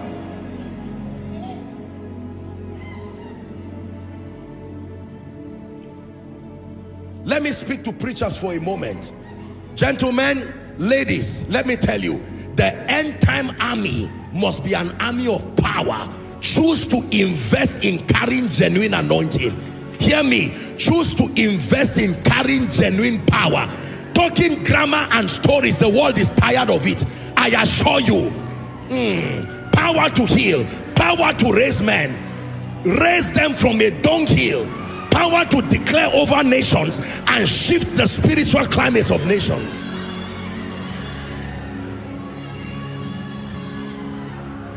Don't stand before Pharaoh if you don't have power. You are confronting altars that are older than you. You are confronting altars that killed those who went ahead of you. Don't just stand and speak grammar. As for me, I've chosen. Shamakapakatosiata. Hmm. You ignore the ministry of power, your life will be such a defeat, I tell you. Hmm. The missing link for many people is that you have not made the choice to press. You have not made the choice to pray. You have not made the choice to study. Hallelujah. I don't know why I'm speaking to preachers, but let me tell you the truth. The powerlessness of the average man of God, with all due respect in this nation, if we do not work on it, we will keep getting angry with ourselves, fighting ourselves out of jealousy and envy that is not necessary. One thing thou lackest, most people lack power. You don't have power and say, I have power. It is nonsense. It speaks.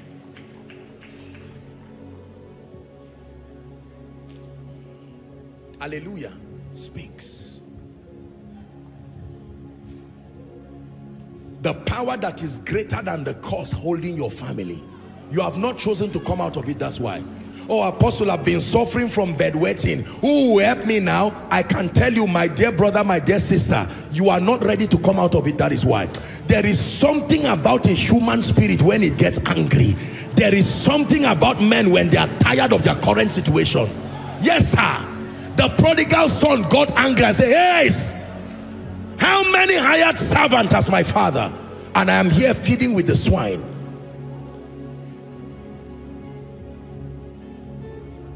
Do you believe what you are hearing? Choose life. I have chosen by myself that nothing is going to cut short my life before it's time. It's a choice. It's a choice. It's a choice. It's only when we get to heaven you will know how many shrines and how many herbalists call my name day and night. Let this man die. You are joking. We are here for a very long time. I said before you life and death.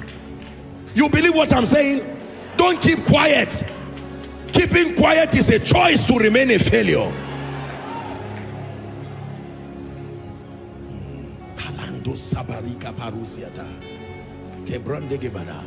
I've seen the spirit of death. I've seen the people that the devil wanted to just take like that. Speak, listen, I learned this from Papa Copeland. Right from when this man was young, he would speak over the organs in his body and people were laughing at him. Oh, a preacher does not carry fire and this. Many of them have died and gone. This man in his 80s is still standing, still speaking to the parts of his body. Every part of my body God gave me must hear me. Yes, sir, you must hear me.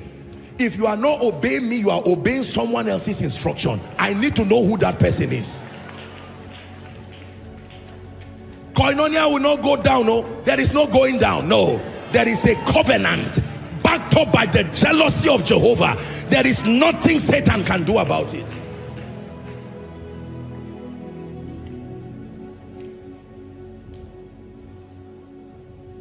I want you to get angry tonight because I want you to see the areas of darkness in your life. You are allowing the devil destroy people in your life. There are people every year somebody must die. Every year. Can I tell you?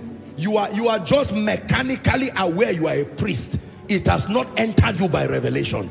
The day the, re, the revelation of your priesthood enters you, ladies and gentlemen, you will stand up with power and shake that altar and say the last person that died in this family will be the last person and end comes to it.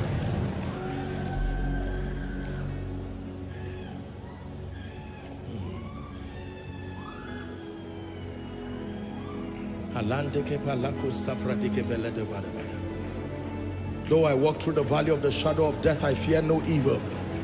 For thou art with me, thy rod and thy staff, they comfort me. They comfort me. They comfort me. Choose life. Choose life means choose health. Choose life means choose glory. Choose life means choose excellence. Choose life means choose power. The ability to produce results. Choose life means choose speed. Choose life means choose ever increasing glory. Choose life means choose greatness. Choose life means choose Jesus. Hallelujah. Please hear me. Hear me. Please hear me. Hear me. I sense in my spirit in the next, I wanted to run through a list about the various choices. I don't know if I'll do that or not, but I just sense the spirit of prayer. Hear me, ladies and gentlemen. Tonight is the night that God has brought us to be angry at certain things that have been happening in our lives. You are a man of God here. Don't watch things go wrong in your ministry. You can make up your mind. You are a parent here. You are watching your child become maybe an alcoholic or something and you are saying there's nothing I cannot do. You can choose. It is the power God gave man. It is the power God gave man. It is the power God gave man. He respects that power himself.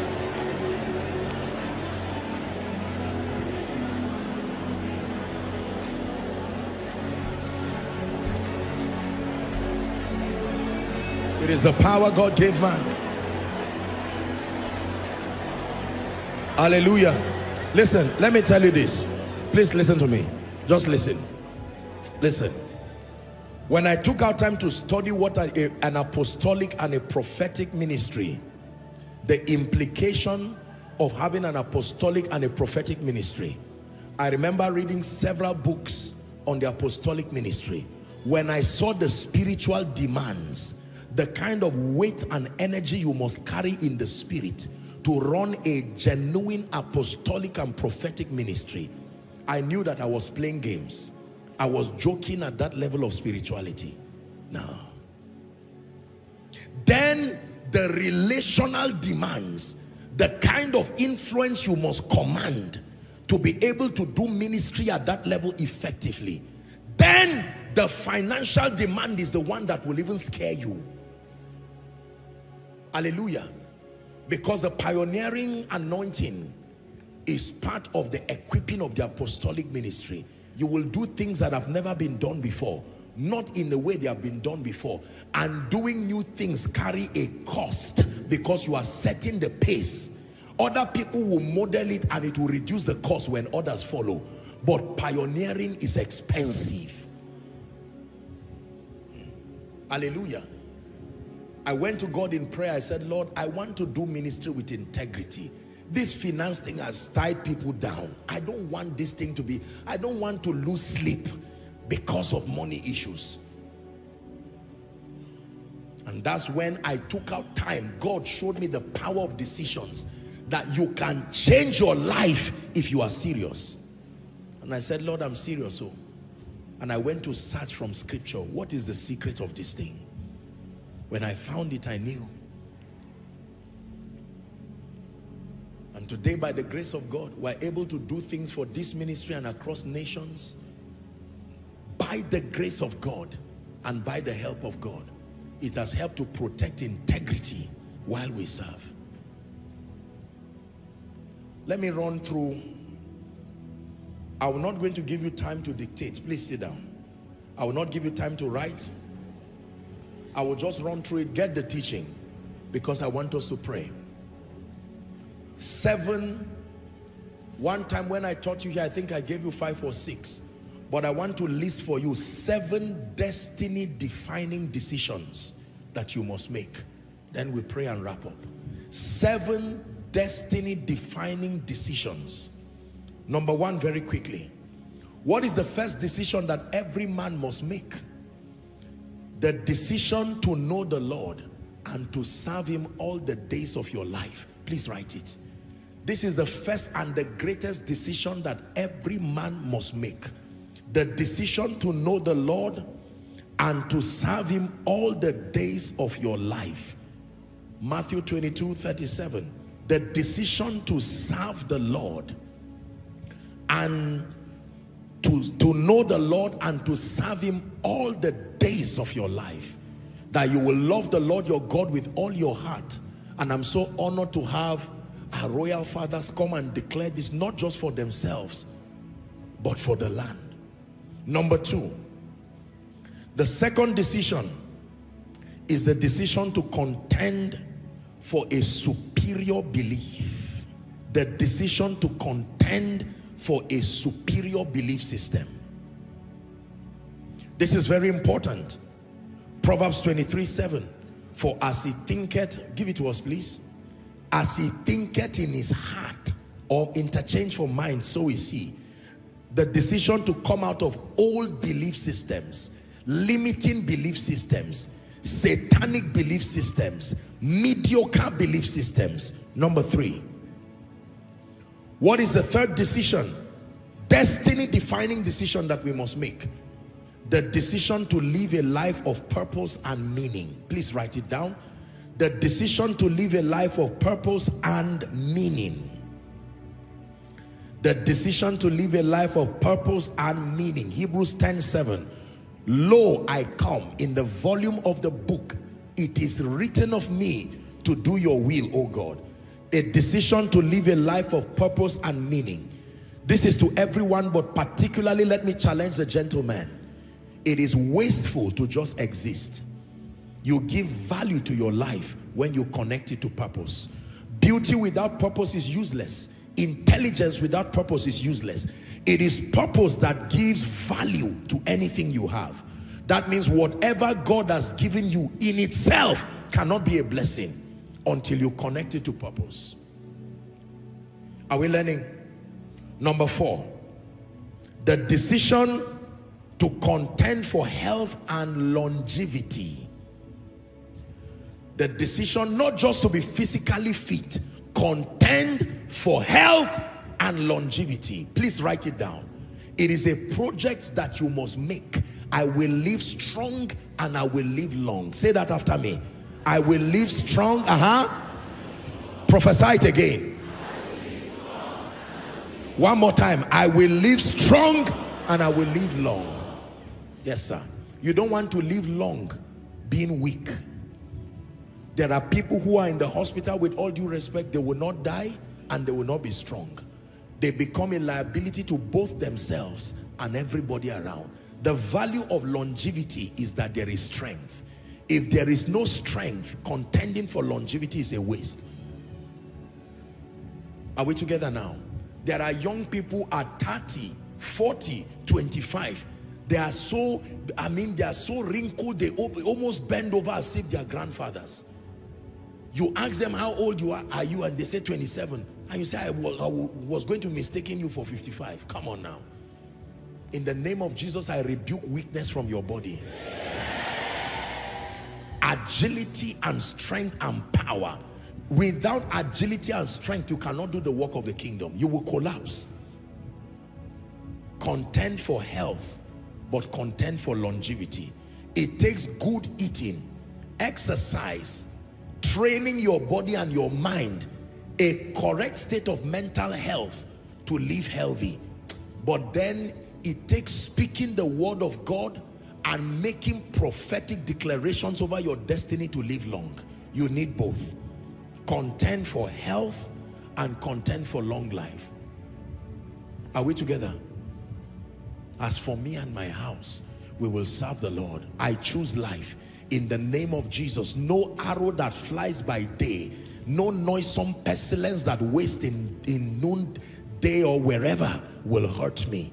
No, I am immune by the power of the Holy Spirit. No enchantment and no divination shall prevail over my body. My spirit is comfortable living in this body. My organs are functioning maximally by the power that raised Christ from the dead. In the name of Jesus Christ. Don't believe that the moment you get into a certain age, certain sicknesses come with it. Now, I respect doctors. We have lots of doctors here.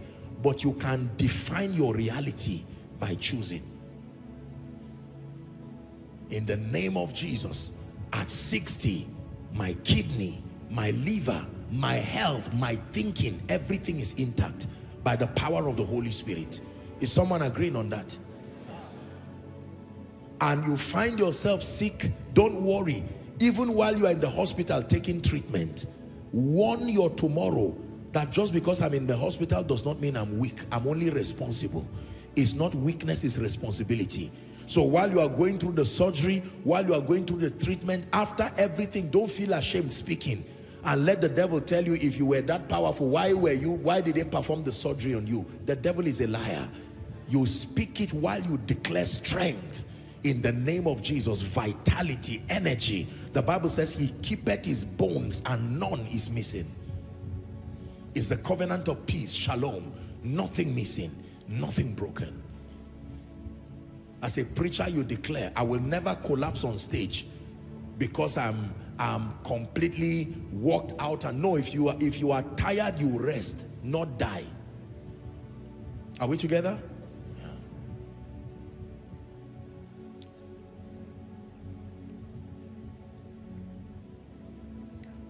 The decision to contend for health and longevity. Number five the decision to be financially or economically empowered.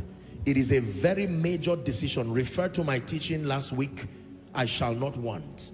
Please get the teaching is online and listen to it very carefully.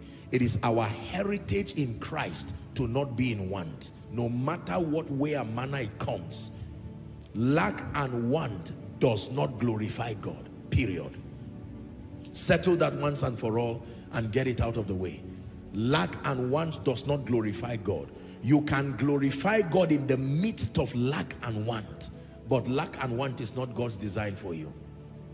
Just like a person can survive with only one kidney.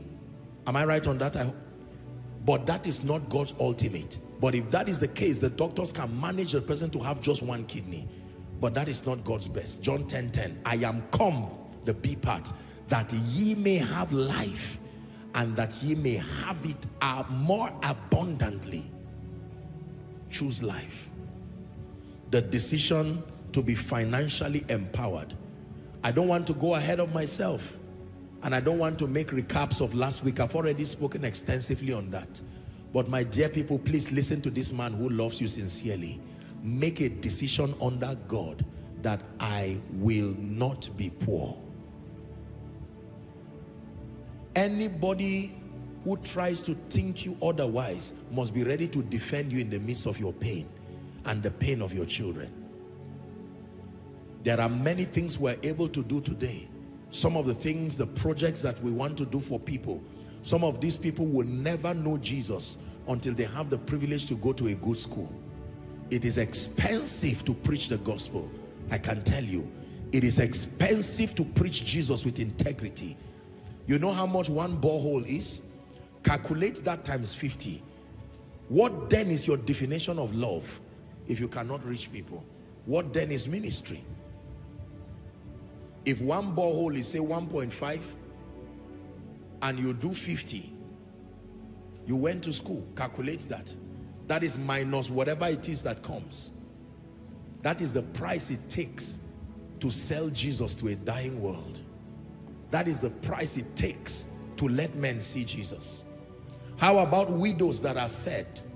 How about orphans that would have died? I remember, I think two years ago or so, our medical team went to do an outreach in one of the IDP camps. And when they got to that IDP camp, they found a, a, a young child that was almost left for dead. Painfully, the child eventually died. I remember some weeks ago, there was a woman who came with a child, was a sickler, joined the queue here. I later found out that the child died. It was so painful. As she held that child, you could see a product of pain, malnourishment. You know that she was a sincere mother, but she was incapacitated. It takes wickedness to sell poverty. Did you hear what I said? It takes wickedness to sell poverty.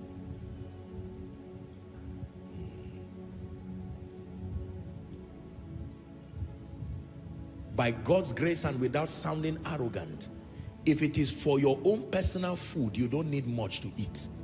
But my goodness, you need so much. There's no need telling you the things that are done on a daily basis for Jesus. They require finances. Integrity requires finances in many regards. Preaching sincerely and not manipulating people requires economic empowerment in many regards. Projects that bring the name of Jesus, not to brag, but sometimes it's good to say some of these things.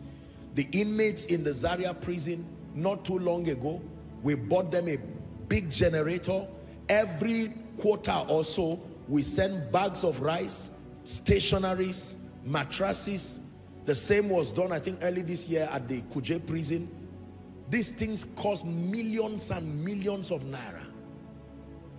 I don't want to tell you how much it cost to do the Manchester conference that had thousands of people coming to Jesus. If soul winning is not ministry, I don't know what else it is. No matter what you claim ministry is, if souls are not won, you are joking. Are we together? I can tell you that. I've told you here what it takes to run this service that you are enjoying right now. It is a miracle. Only God can strengthen men to be able to do that. Hallelujah. There is all, not, not to insult the givings of God's people, but let me tell you sincerely, there is only so much tithes and offerings can do. Believe me. Believe me. You know I'm not lying. There are students now going back to school by the privilege of God's grace. I've had the honor of taking care of over 600 children and families. I've done this for many years. I only continue to add with joy. It takes a lot of resources to do that, let me tell you. Housing, schooling, everything. My apologies if we sound, I just want to give you a superior orientation. When you don't know what to do with money, you don't need it. God will not even give you for your safety. But when you know what to do with it, you can preach Jesus with financial resources and be a blessing to people. Day and night, my phone is full of the cries and the tears of people. Please do this. I just announced to you some of the things by the privilege of God's grace. The educational fund. Just a test run of it alone was 10 million naira. And it only keeps growing. That is the price it takes to help these children. You know, His Royal Highness, we're having a meeting and he was telling me, and I was so humbled. Some children who today have finished school, who if not for that scholarship would never have had the opportunity to go to school. What then is our definition of impact? Hallelujah. The bags and bags, we are going to be in Zaria this week now. The concert alone. Do you know how much the bill for the medical, I mean, imagine gathering people. I think they are projecting maybe between 600 to 1,200 people. Free medical services. You go and try to get a drug for, for malaria and find out how much it is.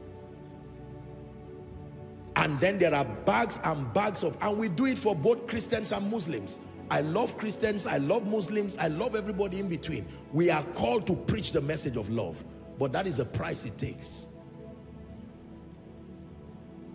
Imagine me coming to meet your child who says on scholarship, and I say, sorry, something has happened. This family, from today we cannot pay your rent, know where you are going. You can imagine. There are many people who are converts, who by the grace of God we are taking care of today. That is the price it takes to keep them standing for Jesus. Sometimes we say these things so that we do not, you know, I have a weakness in trying to brag and share testimonies. It's not something that I like doing. But occasionally, if we don't say these things, people just think we're talking about, I mean, what? I mean, how many things? This is all of me. How much money do you need to maintain a person like this? But for Jesus, reject poverty oh, in the name of Jesus. Let it take away shame from your life and don't get beguiled by ignorant people. When prosperity has purpose, it is a powerful weapon in the hand of people. Hallelujah. Contend, make a decision under God. A hustler's approach, I have told you, is a defeated person's approach. All this, I want to make money, so I'll buy a Jeep, so I'll enter. No, no, no, no, no. That means you don't know God and you don't understand this program. How many clothes can you wear in a year? How many plates of food can you eat? No. The bigger cause is to be able to send resources for the sake of Jesus. I have seen souls saved. As I stood, I have stood by the grace of God on many crusade grounds. And every time I see souls come to Jesus, I had a very interesting experience in Ghana. While I was doing an altar call, there was this very little boy lovely little boy. This boy was kneeling down and he was really, you know, just sobbing and praying. I had to call him up and held him and prayed for him. I mean, I just, my heart just welled up with compassion. I was almost tempted to say, listen, let me put this boy on scholarship till he finishes school. I just say, well, the fruit of the spirit is love, joy, peace. Maybe another time. What if that child tells you he's an orphan who is just looking for Jesus sincerely? and then you tell him, I bid you good speed. Go and read the warning James gave us. Show me your faith by your works. If we claim we love Jesus, we must show it. And resources help you to show that you love Jesus. I have vowed under God and as a covenant to you, my dear people, I will never, may I not live to see that day, that I will manipulate you financially simply because we're trying to put something in our pocket. No, there are some of us who fear God. Are we together? But you see, I have told you, I am only able to say things like this because number one, I love Jesus. But I will always say it. Number two is because there is food on my table. Am I right on that? Yeah. When there is food on my table, it can give me the confidence to remain and teach the truth that I ought to teach. If there is no food on your table, you will listen to me but you will get up and go and do some things you should not do. There is a woman, probably she's following right now, wonderful woman from one of the northern states. And, you know, I'd never even seen her. There was a tragic situation in, in her life. I don't want to go into details. Compromises that happened be, because of finances for her and her family. But today, this woman, by the grace of God and the privilege of his mercy, has been rehabilitated out of that lifestyle, living a life of dignity. She has a business she's running now, loving the Lord with all her heart. If you don't know what to do with money, sit down and learn from those who know what to do with it. Every time you don't have understanding, sit down and learn from those who know. Are we together? Yes. I'm glad I made that decision. It is a decision I, I will continue to make for myself and for Koinonia so that we can do so much for his majesty. For as long as I'm alive, children will go to school. For as long as I'm alive, we'll do our best to see that widows and orphans continue to smile. For as long as I'm alive, I will help people financially. I'm not ashamed to say it. Many preachers will be afraid because, ah, be careful. I'm not careful. I will say it for as long as I am alive. I will not do everything, but I will do my best. Hallelujah. I will do my best. The ones we can help, we will help. The ones we can cry with, we will cry with. The ones we can pray with, we will pray with. The one who we can stop from living a dirty life to be able to follow a life of meaning and know Jesus, we will do our best. Where we are limited, we'll ask the Lord to show us mercy and raise others who have our kind of orientation. But to chicken out just because of the fear of prosperity message is nonsense. Not Joshua Selman. It's a covenant I have made. I know how money can demonstrate love. And we intend to use that weapon and show nations the love of Jesus. If you're in agreement, say amen. amen. Try becoming rich with understanding and see how better your life becomes. Are we together? you will serve the Lord you will end many quarrels in your family that have no root you will end many things you will live in peace do you know that remaining healthy takes finances because it demands eating well that they tell you don't eat this, don't eat that. Is it not somebody who has money that can obey that medical advice? Take supplements, do this. Don't eat rice, don't eat cabbage. What else will you eat?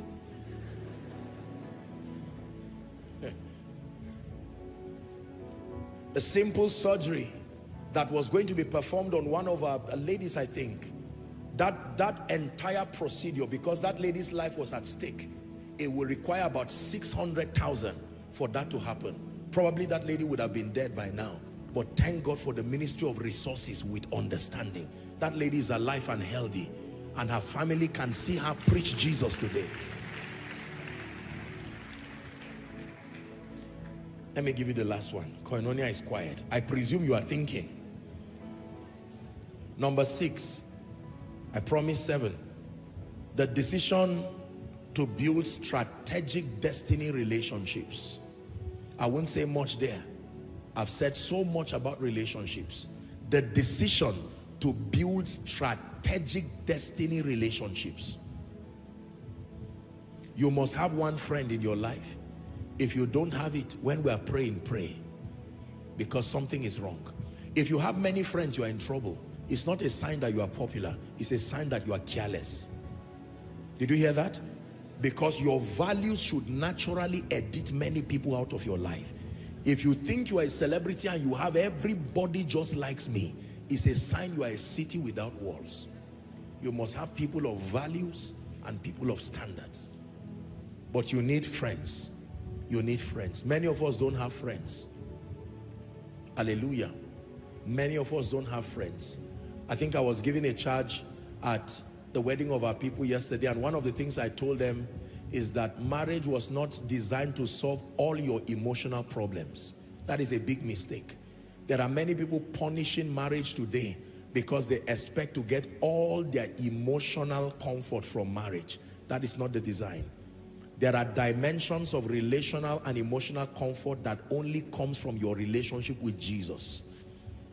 There are dimensions of emotional and relational comforts that only come when you have godly strategic relationships. There are dimensions of emotional and relational comfort that comes when you have a spouse. There are those that come when you have children. They were all allocated their space. Hallelujah. If there is a relational void in you, check whether you have a relationship with Jesus. Then next to that, check if you have quality people in your life. I'm praying for you. May you never lack an ear to hear when you are in trouble. Especially if you are a man of God. Loneliness has killed many people because they do not have anybody they can confide in. They are afraid of everybody around them because they do not even know who to trust again. This is one of the problem of great people. They have gone through enough wounds and betrayal. They just believe that everybody is out to destroy them. But it is not true. There are still honest people. There are still godly people. There are still good people. There are still friends that stick closer than brothers. May you be one. And then may you find one. Final decision number seven. Destiny defining decisions. Number seven. The decision to be a blessing. Genesis 12, 3. The decision to be a blessing. You will think that this is the same as finding purpose. They are similar, but this is different. You can fulfill your assignment and truly not be a blessing. You can excel in career and yet not be a blessing. Do you know what it means to be a blessing? When nations arise and thank God for your life. When nations arise and say, thank God you are alive. When nations arise and say, imagine what would have been if you were not there. That is what it means to be a blessing. To be a blessing does not mean to be popular. You can be popular and not impactful. I learned that from Dr. Myles Munroe. There are many people who are pursuing fame and popularity. Popularity does not mean influence. Popularity does not mean impact. You can be very popular, known across the globe, but not impactful. Anna the prophetess was not popular, but she was impactful. Jesus was both popular and impactful. I choose impact a thousand times to fame and popularity. The burden of being famous is something that if you know, you will not be in a hurry to receive it. Hallelujah. The dynamics, the pressure that comes with this in quote celebrity lifestyle that people die to have. Choose impact. That somebody is smiling today because you are alive. Someone is eating today because you are alive. Someone is going to school because you are alive. Hallelujah. Someone will be saved this night now because there is koinonia. A family will be happy. Somebody will act upon what you are hearing now. Only God knows how far what I'm saying will get to and whose life is being changed now. Do you know what it means to get up in the morning knowing that you are going to be a blessing? You get up in the morning knowing that one sick body will be healed because you are awake. You get up in the morning knowing that one confused person will find direction. Of the many things that happen when people send me text messages, I tell you, sometimes people say thank you and all of that, but when I see testimonies of transformation, Apostle, I was like this before. I listened to one of your message, look at what has happened to me now. Sometimes in my silence, tears just begin to come to my eyes. And I say, Father, thank you for keeping me alive. It is because of your mercy and your grace that someone's life is being changed today. Living a wasted life that does not bless people, living a wasted life that is centered on self, myself, make money, ends meet, my reputation. At the end of your life, you will find out that you did not do well with such a life. Two teachings that will help you. One, what seekest thou? In fact, three now. Lessons from an overcomer you would want to get that teaching to listen to it again and again. The final one being the law of seasons. Listen to these teachings very well and they will open your eyes. I have studied the science of achievement. I have studied the art of fulfillment. The only gift you can give yourself is not money. It is fulfillment. The satisfaction that is derived from knowing that you have lived your life effectively, serving the purposes of the kingdom and being a blessing to humanity. If Christ tarries, no matter how long we live, someday this man you see will have to join the cloud of witnesses too. You see that now? When all is said and done, the truth about it is that no matter how much you have in your bank account, no matter how many certificates you gather, no matter how many sermons you have preached, all those things will count less. The most important thing will be the lives you have changed today. T.L. Osborn has joined the cloud of witnesses. Reinhard Bonnke joined the cloud of witnesses. Hallelujah. Oral Roberts join the cloud of witnesses. Pat Robertson join the cloud of witnesses. All of these men. But today we are proof that they succeeded. We have become extensions of their legacy. Promoting, preserving this gospel that they lived and died for. This is what life is all about. Life is beyond eating and drinking.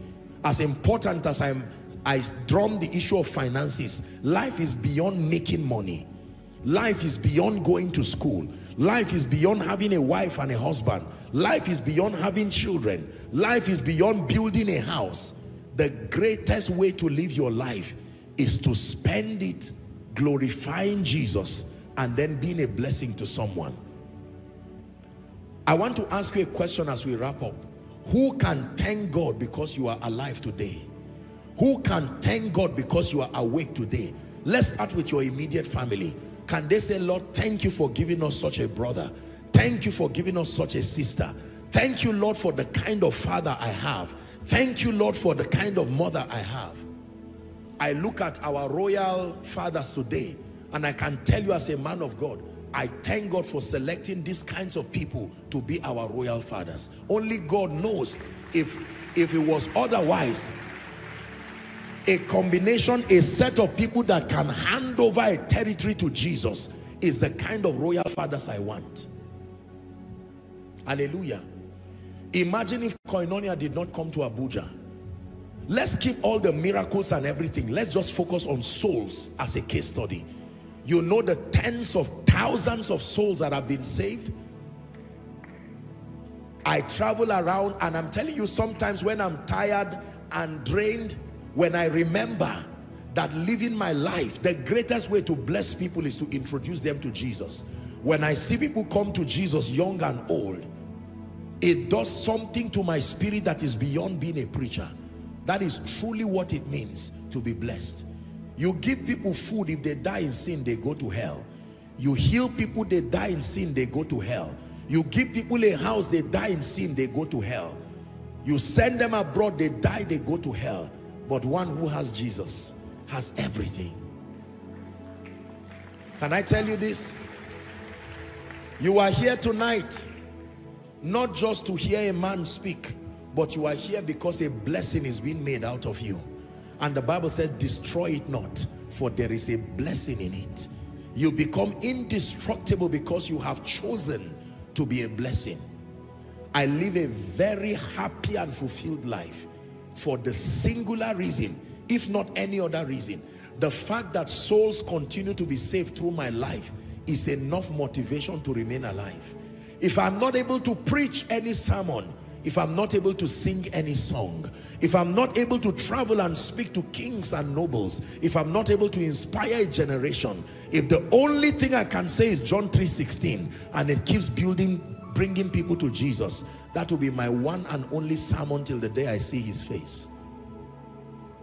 Examine your life whilst you are listening to me. Living for yourself is a loser's way of living. You must spend yourself and be spent for a cause that is nobler than yourself. To pour your heart for Jesus and to love him sincerely. The day that I will see his face, I'm sure and I hope that he will say, well done, thou good and faithful servant. And I hope I will see you too. Let me tell you, he will not just say, well done to me alone. He will turn and say, ushers, where are you? Well done. He will turn and say, protocol, where are you? Well done. He will turn and say, medical people, where are you? Well done. He will turn and see the person who sent 10,000 naira quietly and say, well done. He will turn and see someone who sent a text and say, apostle, God bless you. And say, thank you for motivating my son. He will turn and see a mother who was an intercessor somewhere. He will say, thank you. He will turn to my royal fathers and say, thank you for insisting that the land serves Jesus. He will turn to all of you, my dear people, Koinonia Global, and say, thank you because when you heard the word, you came and became a formidable army that has brought this many souls to Jesus. Yes, sir. Yes, sir. Your coming to church is beyond honoring the call of a man. No, it's beyond being a fan. There are no fans in this ministry. Fans have no reward. You are connected with understanding and by covenant. And I've told you, for every preaching, every singing, every instruction in righteousness, every nation that I travel to, you have gone with me in the spirit through your prayers, through your giving, through your love, by calling other people to be part of it. I want you to know that one day when we stand before his majesty, the king of all kings, as I hear thank you, you will also hear thank you. Are you ready to pray now? I choose life. Go ahead and pray. I choose life. I choose life. I choose life. I choose spirituality. I choose transformation. Someone is praying. I choose purpose and meaning. I choose health and longevity. I choose economic empowerment to live a life of dignity and to serve the kingdom with honor. I choose quality destiny relationships. Finally, like Abraham and like the seed of Abraham indeed, I choose to be a blessing. Let my life count. Someone is praying. Someone is praying.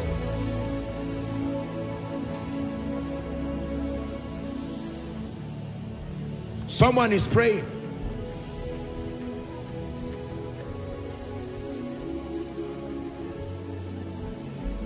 Declare, I choose life. Ask the Lord to help you.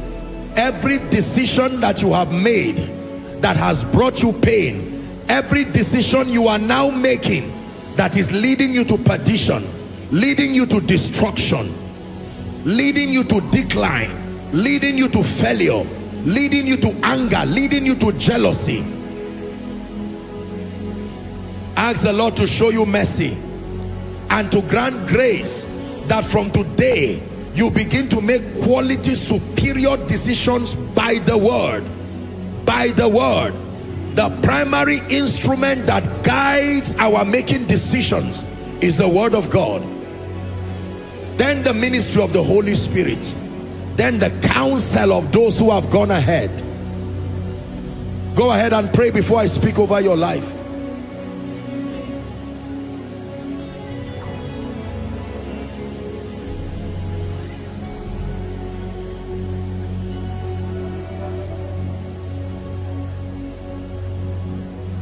For in Jesus' mighty name we have prayed. He said, as for me and my house. Choose life means choose spirituality. Choose loving and serving Jesus passionately. Beyond church traditions. Choose life means choose to upgrade your thinking to a superior mentality that attracts possibilities that are worth compliance to your life. Choose life means choose to live a life of purpose and meaning, not just rigmaroling around the corridors of life and destiny. Choose life means choose vitality. Whatever it takes to walk in health, vitality, and soundness. Choose life means to choose financial and economic empowerment that the Lord is truly your shepherd and there are keys he has given you and that when you understand and engage those keys it is true that you shall not want. Choose life means choose strategic relationships. You cannot be a believer in the midst of unbelievers and say it does not care.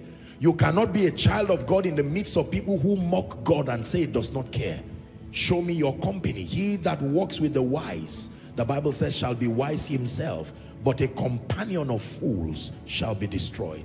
And finally choose life means i choose to be a blessing. That one day the nations will call your name and say thank god you came. That you will not just be a number that passed the face of the earth but one day they will thank you and say thank god for such a daughter you cannot imagine how honored I was. Again, to make reference to our royal fathers. When they said some of the things that they said. It is truly an honor to be alive and to serve. And to serve in a way that your people and the nations can see that you are making efforts and you are doing well to serve Jesus. We may not have done everything. There is always room for more. But my goodness, I am so glad to serve Jesus. I am so glad to live for him. I am so glad to spend my days heralding his name to the nations to be a blessing. Someday one child will come to Koinonia and hug you and you say, who are you? And you say, I'm the child you prayed for. I'm the child you paid school fees for. Who are you? I am the child who your sermon stopped me from serving idols. Someday someone from my region will come and hug me and I will say, who are you? And he said, you may not know me, but I watched that day when your land was being handed over to Jesus. Amazing, isn't it? Make up your mind that I will not live an ordinary life again. The key is not to do ministry. The key is to serve Jesus. You can do ministry and be out of the will of God and be wasting your time just trying to build an empire. Serving Jesus is a better proposal with all your life, with all your heart. As I speak over your life, I want to make one strong call right now. Choose life means choose Jesus. Choose his life. Choose his ways. Choose life means give up your ways and follow the ways of Jesus. Perhaps you began to hear me whilst I was preaching. And while I was preaching, the Spirit of God began to speak to you. And he was telling you, listen to this, my son. Listen to what he's saying. Because in choosing me, you have chosen life indeed. The greatest way to choose life is not to make money. The greatest way to choose life is not to be educated, as important as that is. The greatest way to choose life is not even just to serve in church. It is to have that functional relationship with Jesus. I want to make an altar call now. Whether you are outside, all the overflows, inside, following across the globe, here is an opportunity to know Jesus in truth. I'm going to count one to five, and I'm calling by this count two groups of people.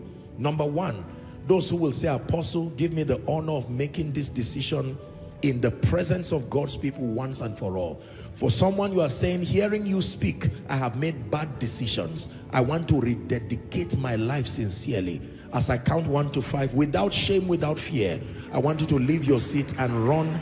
Come and stand here now. One. Koinonia, let's celebrate them. Don't sit back when the Spirit of God is telling you you need to come. Come. Koinonia, keep clapping. It is your sacrifice. You are encouraging them as they come. Come. There is always room for you at the cross. Dear brothers and sisters, come. No matter how you have derailed, come to Jesus.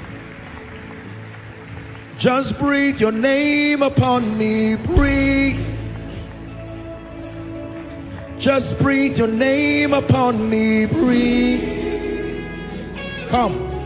Yon He is your name. Breathe, Lord. Just breathe your name upon me. Breathe. Join them. You have just a few seconds. Just breathe your name upon me. Just breathe your name upon me. Breathe. Your name. Come.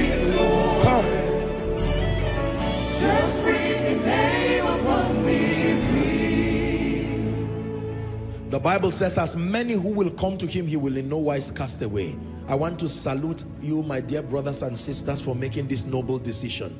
The wisest decision any man can make in this side of God's kingdom is the decision to make it right with Jesus. That is true security when we get it right with him. You can fail in every other area, but if you get it right with Jesus, you are a victor indeed. You are a winner indeed. I'm going to be praying for you now. That includes those who are watching by television, those who are watching online. Here's your chance to make Jesus Lord of your life. May I request that you please lift your right hand high above your head as a sign of surrender. Say this after me. Say, Lord Jesus, tonight I have heard your word. I believe that you died for me. I believe that you rose again for my justification. Right now, I receive Jesus into my heart as my Savior, my Lord, and my King. I declare that the power of sin, Satan, hell, and the grave is broken over my life from tonight and forever. I am a child of God. I go forward ever and backward never. Amen. Keep your beautiful hands lifted and I speak over you. Father, thank you for these precious ones. You have brought them to your presence to change them. Now they are changed. I pray that the power of sin, Satan, hell, and the grave be broken over your life. And in the name of Jesus, I decree and declare that every force that has held you down, let it give way right now. I just saw light coming on two of you. There are two of you. I just saw like light resting on you. I curse that spirit right now. In the name of Jesus Christ, I release you from anything and everything that has held you down. The power to live a victorious Christian life I release upon you right now. In the name of Jesus, you go forward ever and backward never. In Jesus' mighty name, we have prayed. Amen and amen. Let's give them a big God bless you. Please, I want you to move to my left. May I request that you move to my left? That will be your right. There are counselors waiting to have a very quick word with you. Very quick word with you. And then you will be back to your seats. Hallelujah. For one last time, I want us to please give our royal fathers a very big God bless you. Thank you. Thank you. Thank you. Thank you for taking the time to come and fellowship with us. We truly honor you, sir.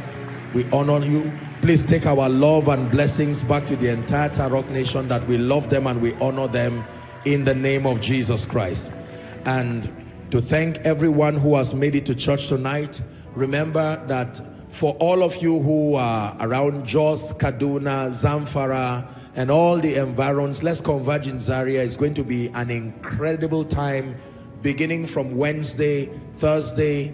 All invite everyone, Christians, Muslims, everyone, the medical outreach especially, and the welfare outreach, they are all together. Please insist and ensure um, I hope that the schedules, I hope that I got that right. I think there's one that starts on Wednesday. Wednesday should be, um, I don't know if it's a medical outreach. Please make sure that it's on our social media platforms so that they follow suit. And then uh, Thursday night is the worship concert. And night of worship. We're carrying all of our wonderful um, worshipers here. And it's going to be a time where lifting up sounds from Zaria literally to the ends of the earth. And all of you connect. All of the programs will be on Koinonia Global so they will be live. So you connect all through. The final service in Zaria will be live. And then um, um, we're doing it outside so it's going to be a crusade hallelujah Friday is going to be a crusade invite everyone let's give God one mighty harvest of souls to wrap up Zaria for the year. And then we're here on Sunday. Please, I want you to invite everyone you know. It is going to double as our final uh, miracle service, if any, even though officially there's no miracle service, but I mean not with God. Anywhere there's expectation, his power will move, will be thanking God, worship him, get set to lead us in very high praise. We're going to shake this place and come with your dancing shoes. We will celebrate the name of the Lord and then I will be speaking over your life. We'll be sowing our end of year sacrifice and then we'll just be lifting the name of Jesus to thank him for this marvelous year of open doors. Have you been blessed tonight? May the Lord bless you in Jesus' name. May the hand of God rest upon you. I declare that your choices and your decisions from today will begin to lead you towards purpose, will begin to lead you towards destiny. And any wrong choice you have made right now and you are being trapped by it may the God who delivers men bring you out of it now. Bring you out of it now. From tonight receive grace to begin to make quality choices. In the name of Jesus Christ. For some of you one decision you will make after this service it will give you one year's worth of testimonies I say it again one decision you will make after this service will give you one year's worth of testimonies. You are blessed and you remain blessed. You are lifted and you remain lifted. May you enjoy wealth and prosperity. May you enjoy a rich fellowship with the Holy Spirit. May you enjoy favor with God and with men. May you enjoy liftings on all sides. It is well with you. Nothing dies in your hands. Return by next week a testimony. In Jesus matchless name we pray. Together as a family let's share the grace in fellowship. The grace of our Lord Jesus Christ the love of God the sweet fellowship of the Holy Spirit rest and abide with us now and forever. Amen. Surely God's goodness and mercies follow us all the days of our lives as we dwell. Dearly beloved I hope you were blessed by this message. I want you to keep doing something for this man of God, our man of God, Apostle Joshua Selman. And that is, I want you to keep on praying for him that the cause of the gospel may have free flow in him, that he may be granted boldness to continue with his commission of Jesus Christ, and that all provisions be given unto him as he continues in this journey of Christianity. And then don't forget to like this video. Don't forget to hit the subscribe button if you are new here. Don't also forget to leave a comment in the comment section and then keep sharing, keep sharing abroad, and let's all keep sharing Jesus. I'll see you again. Bye.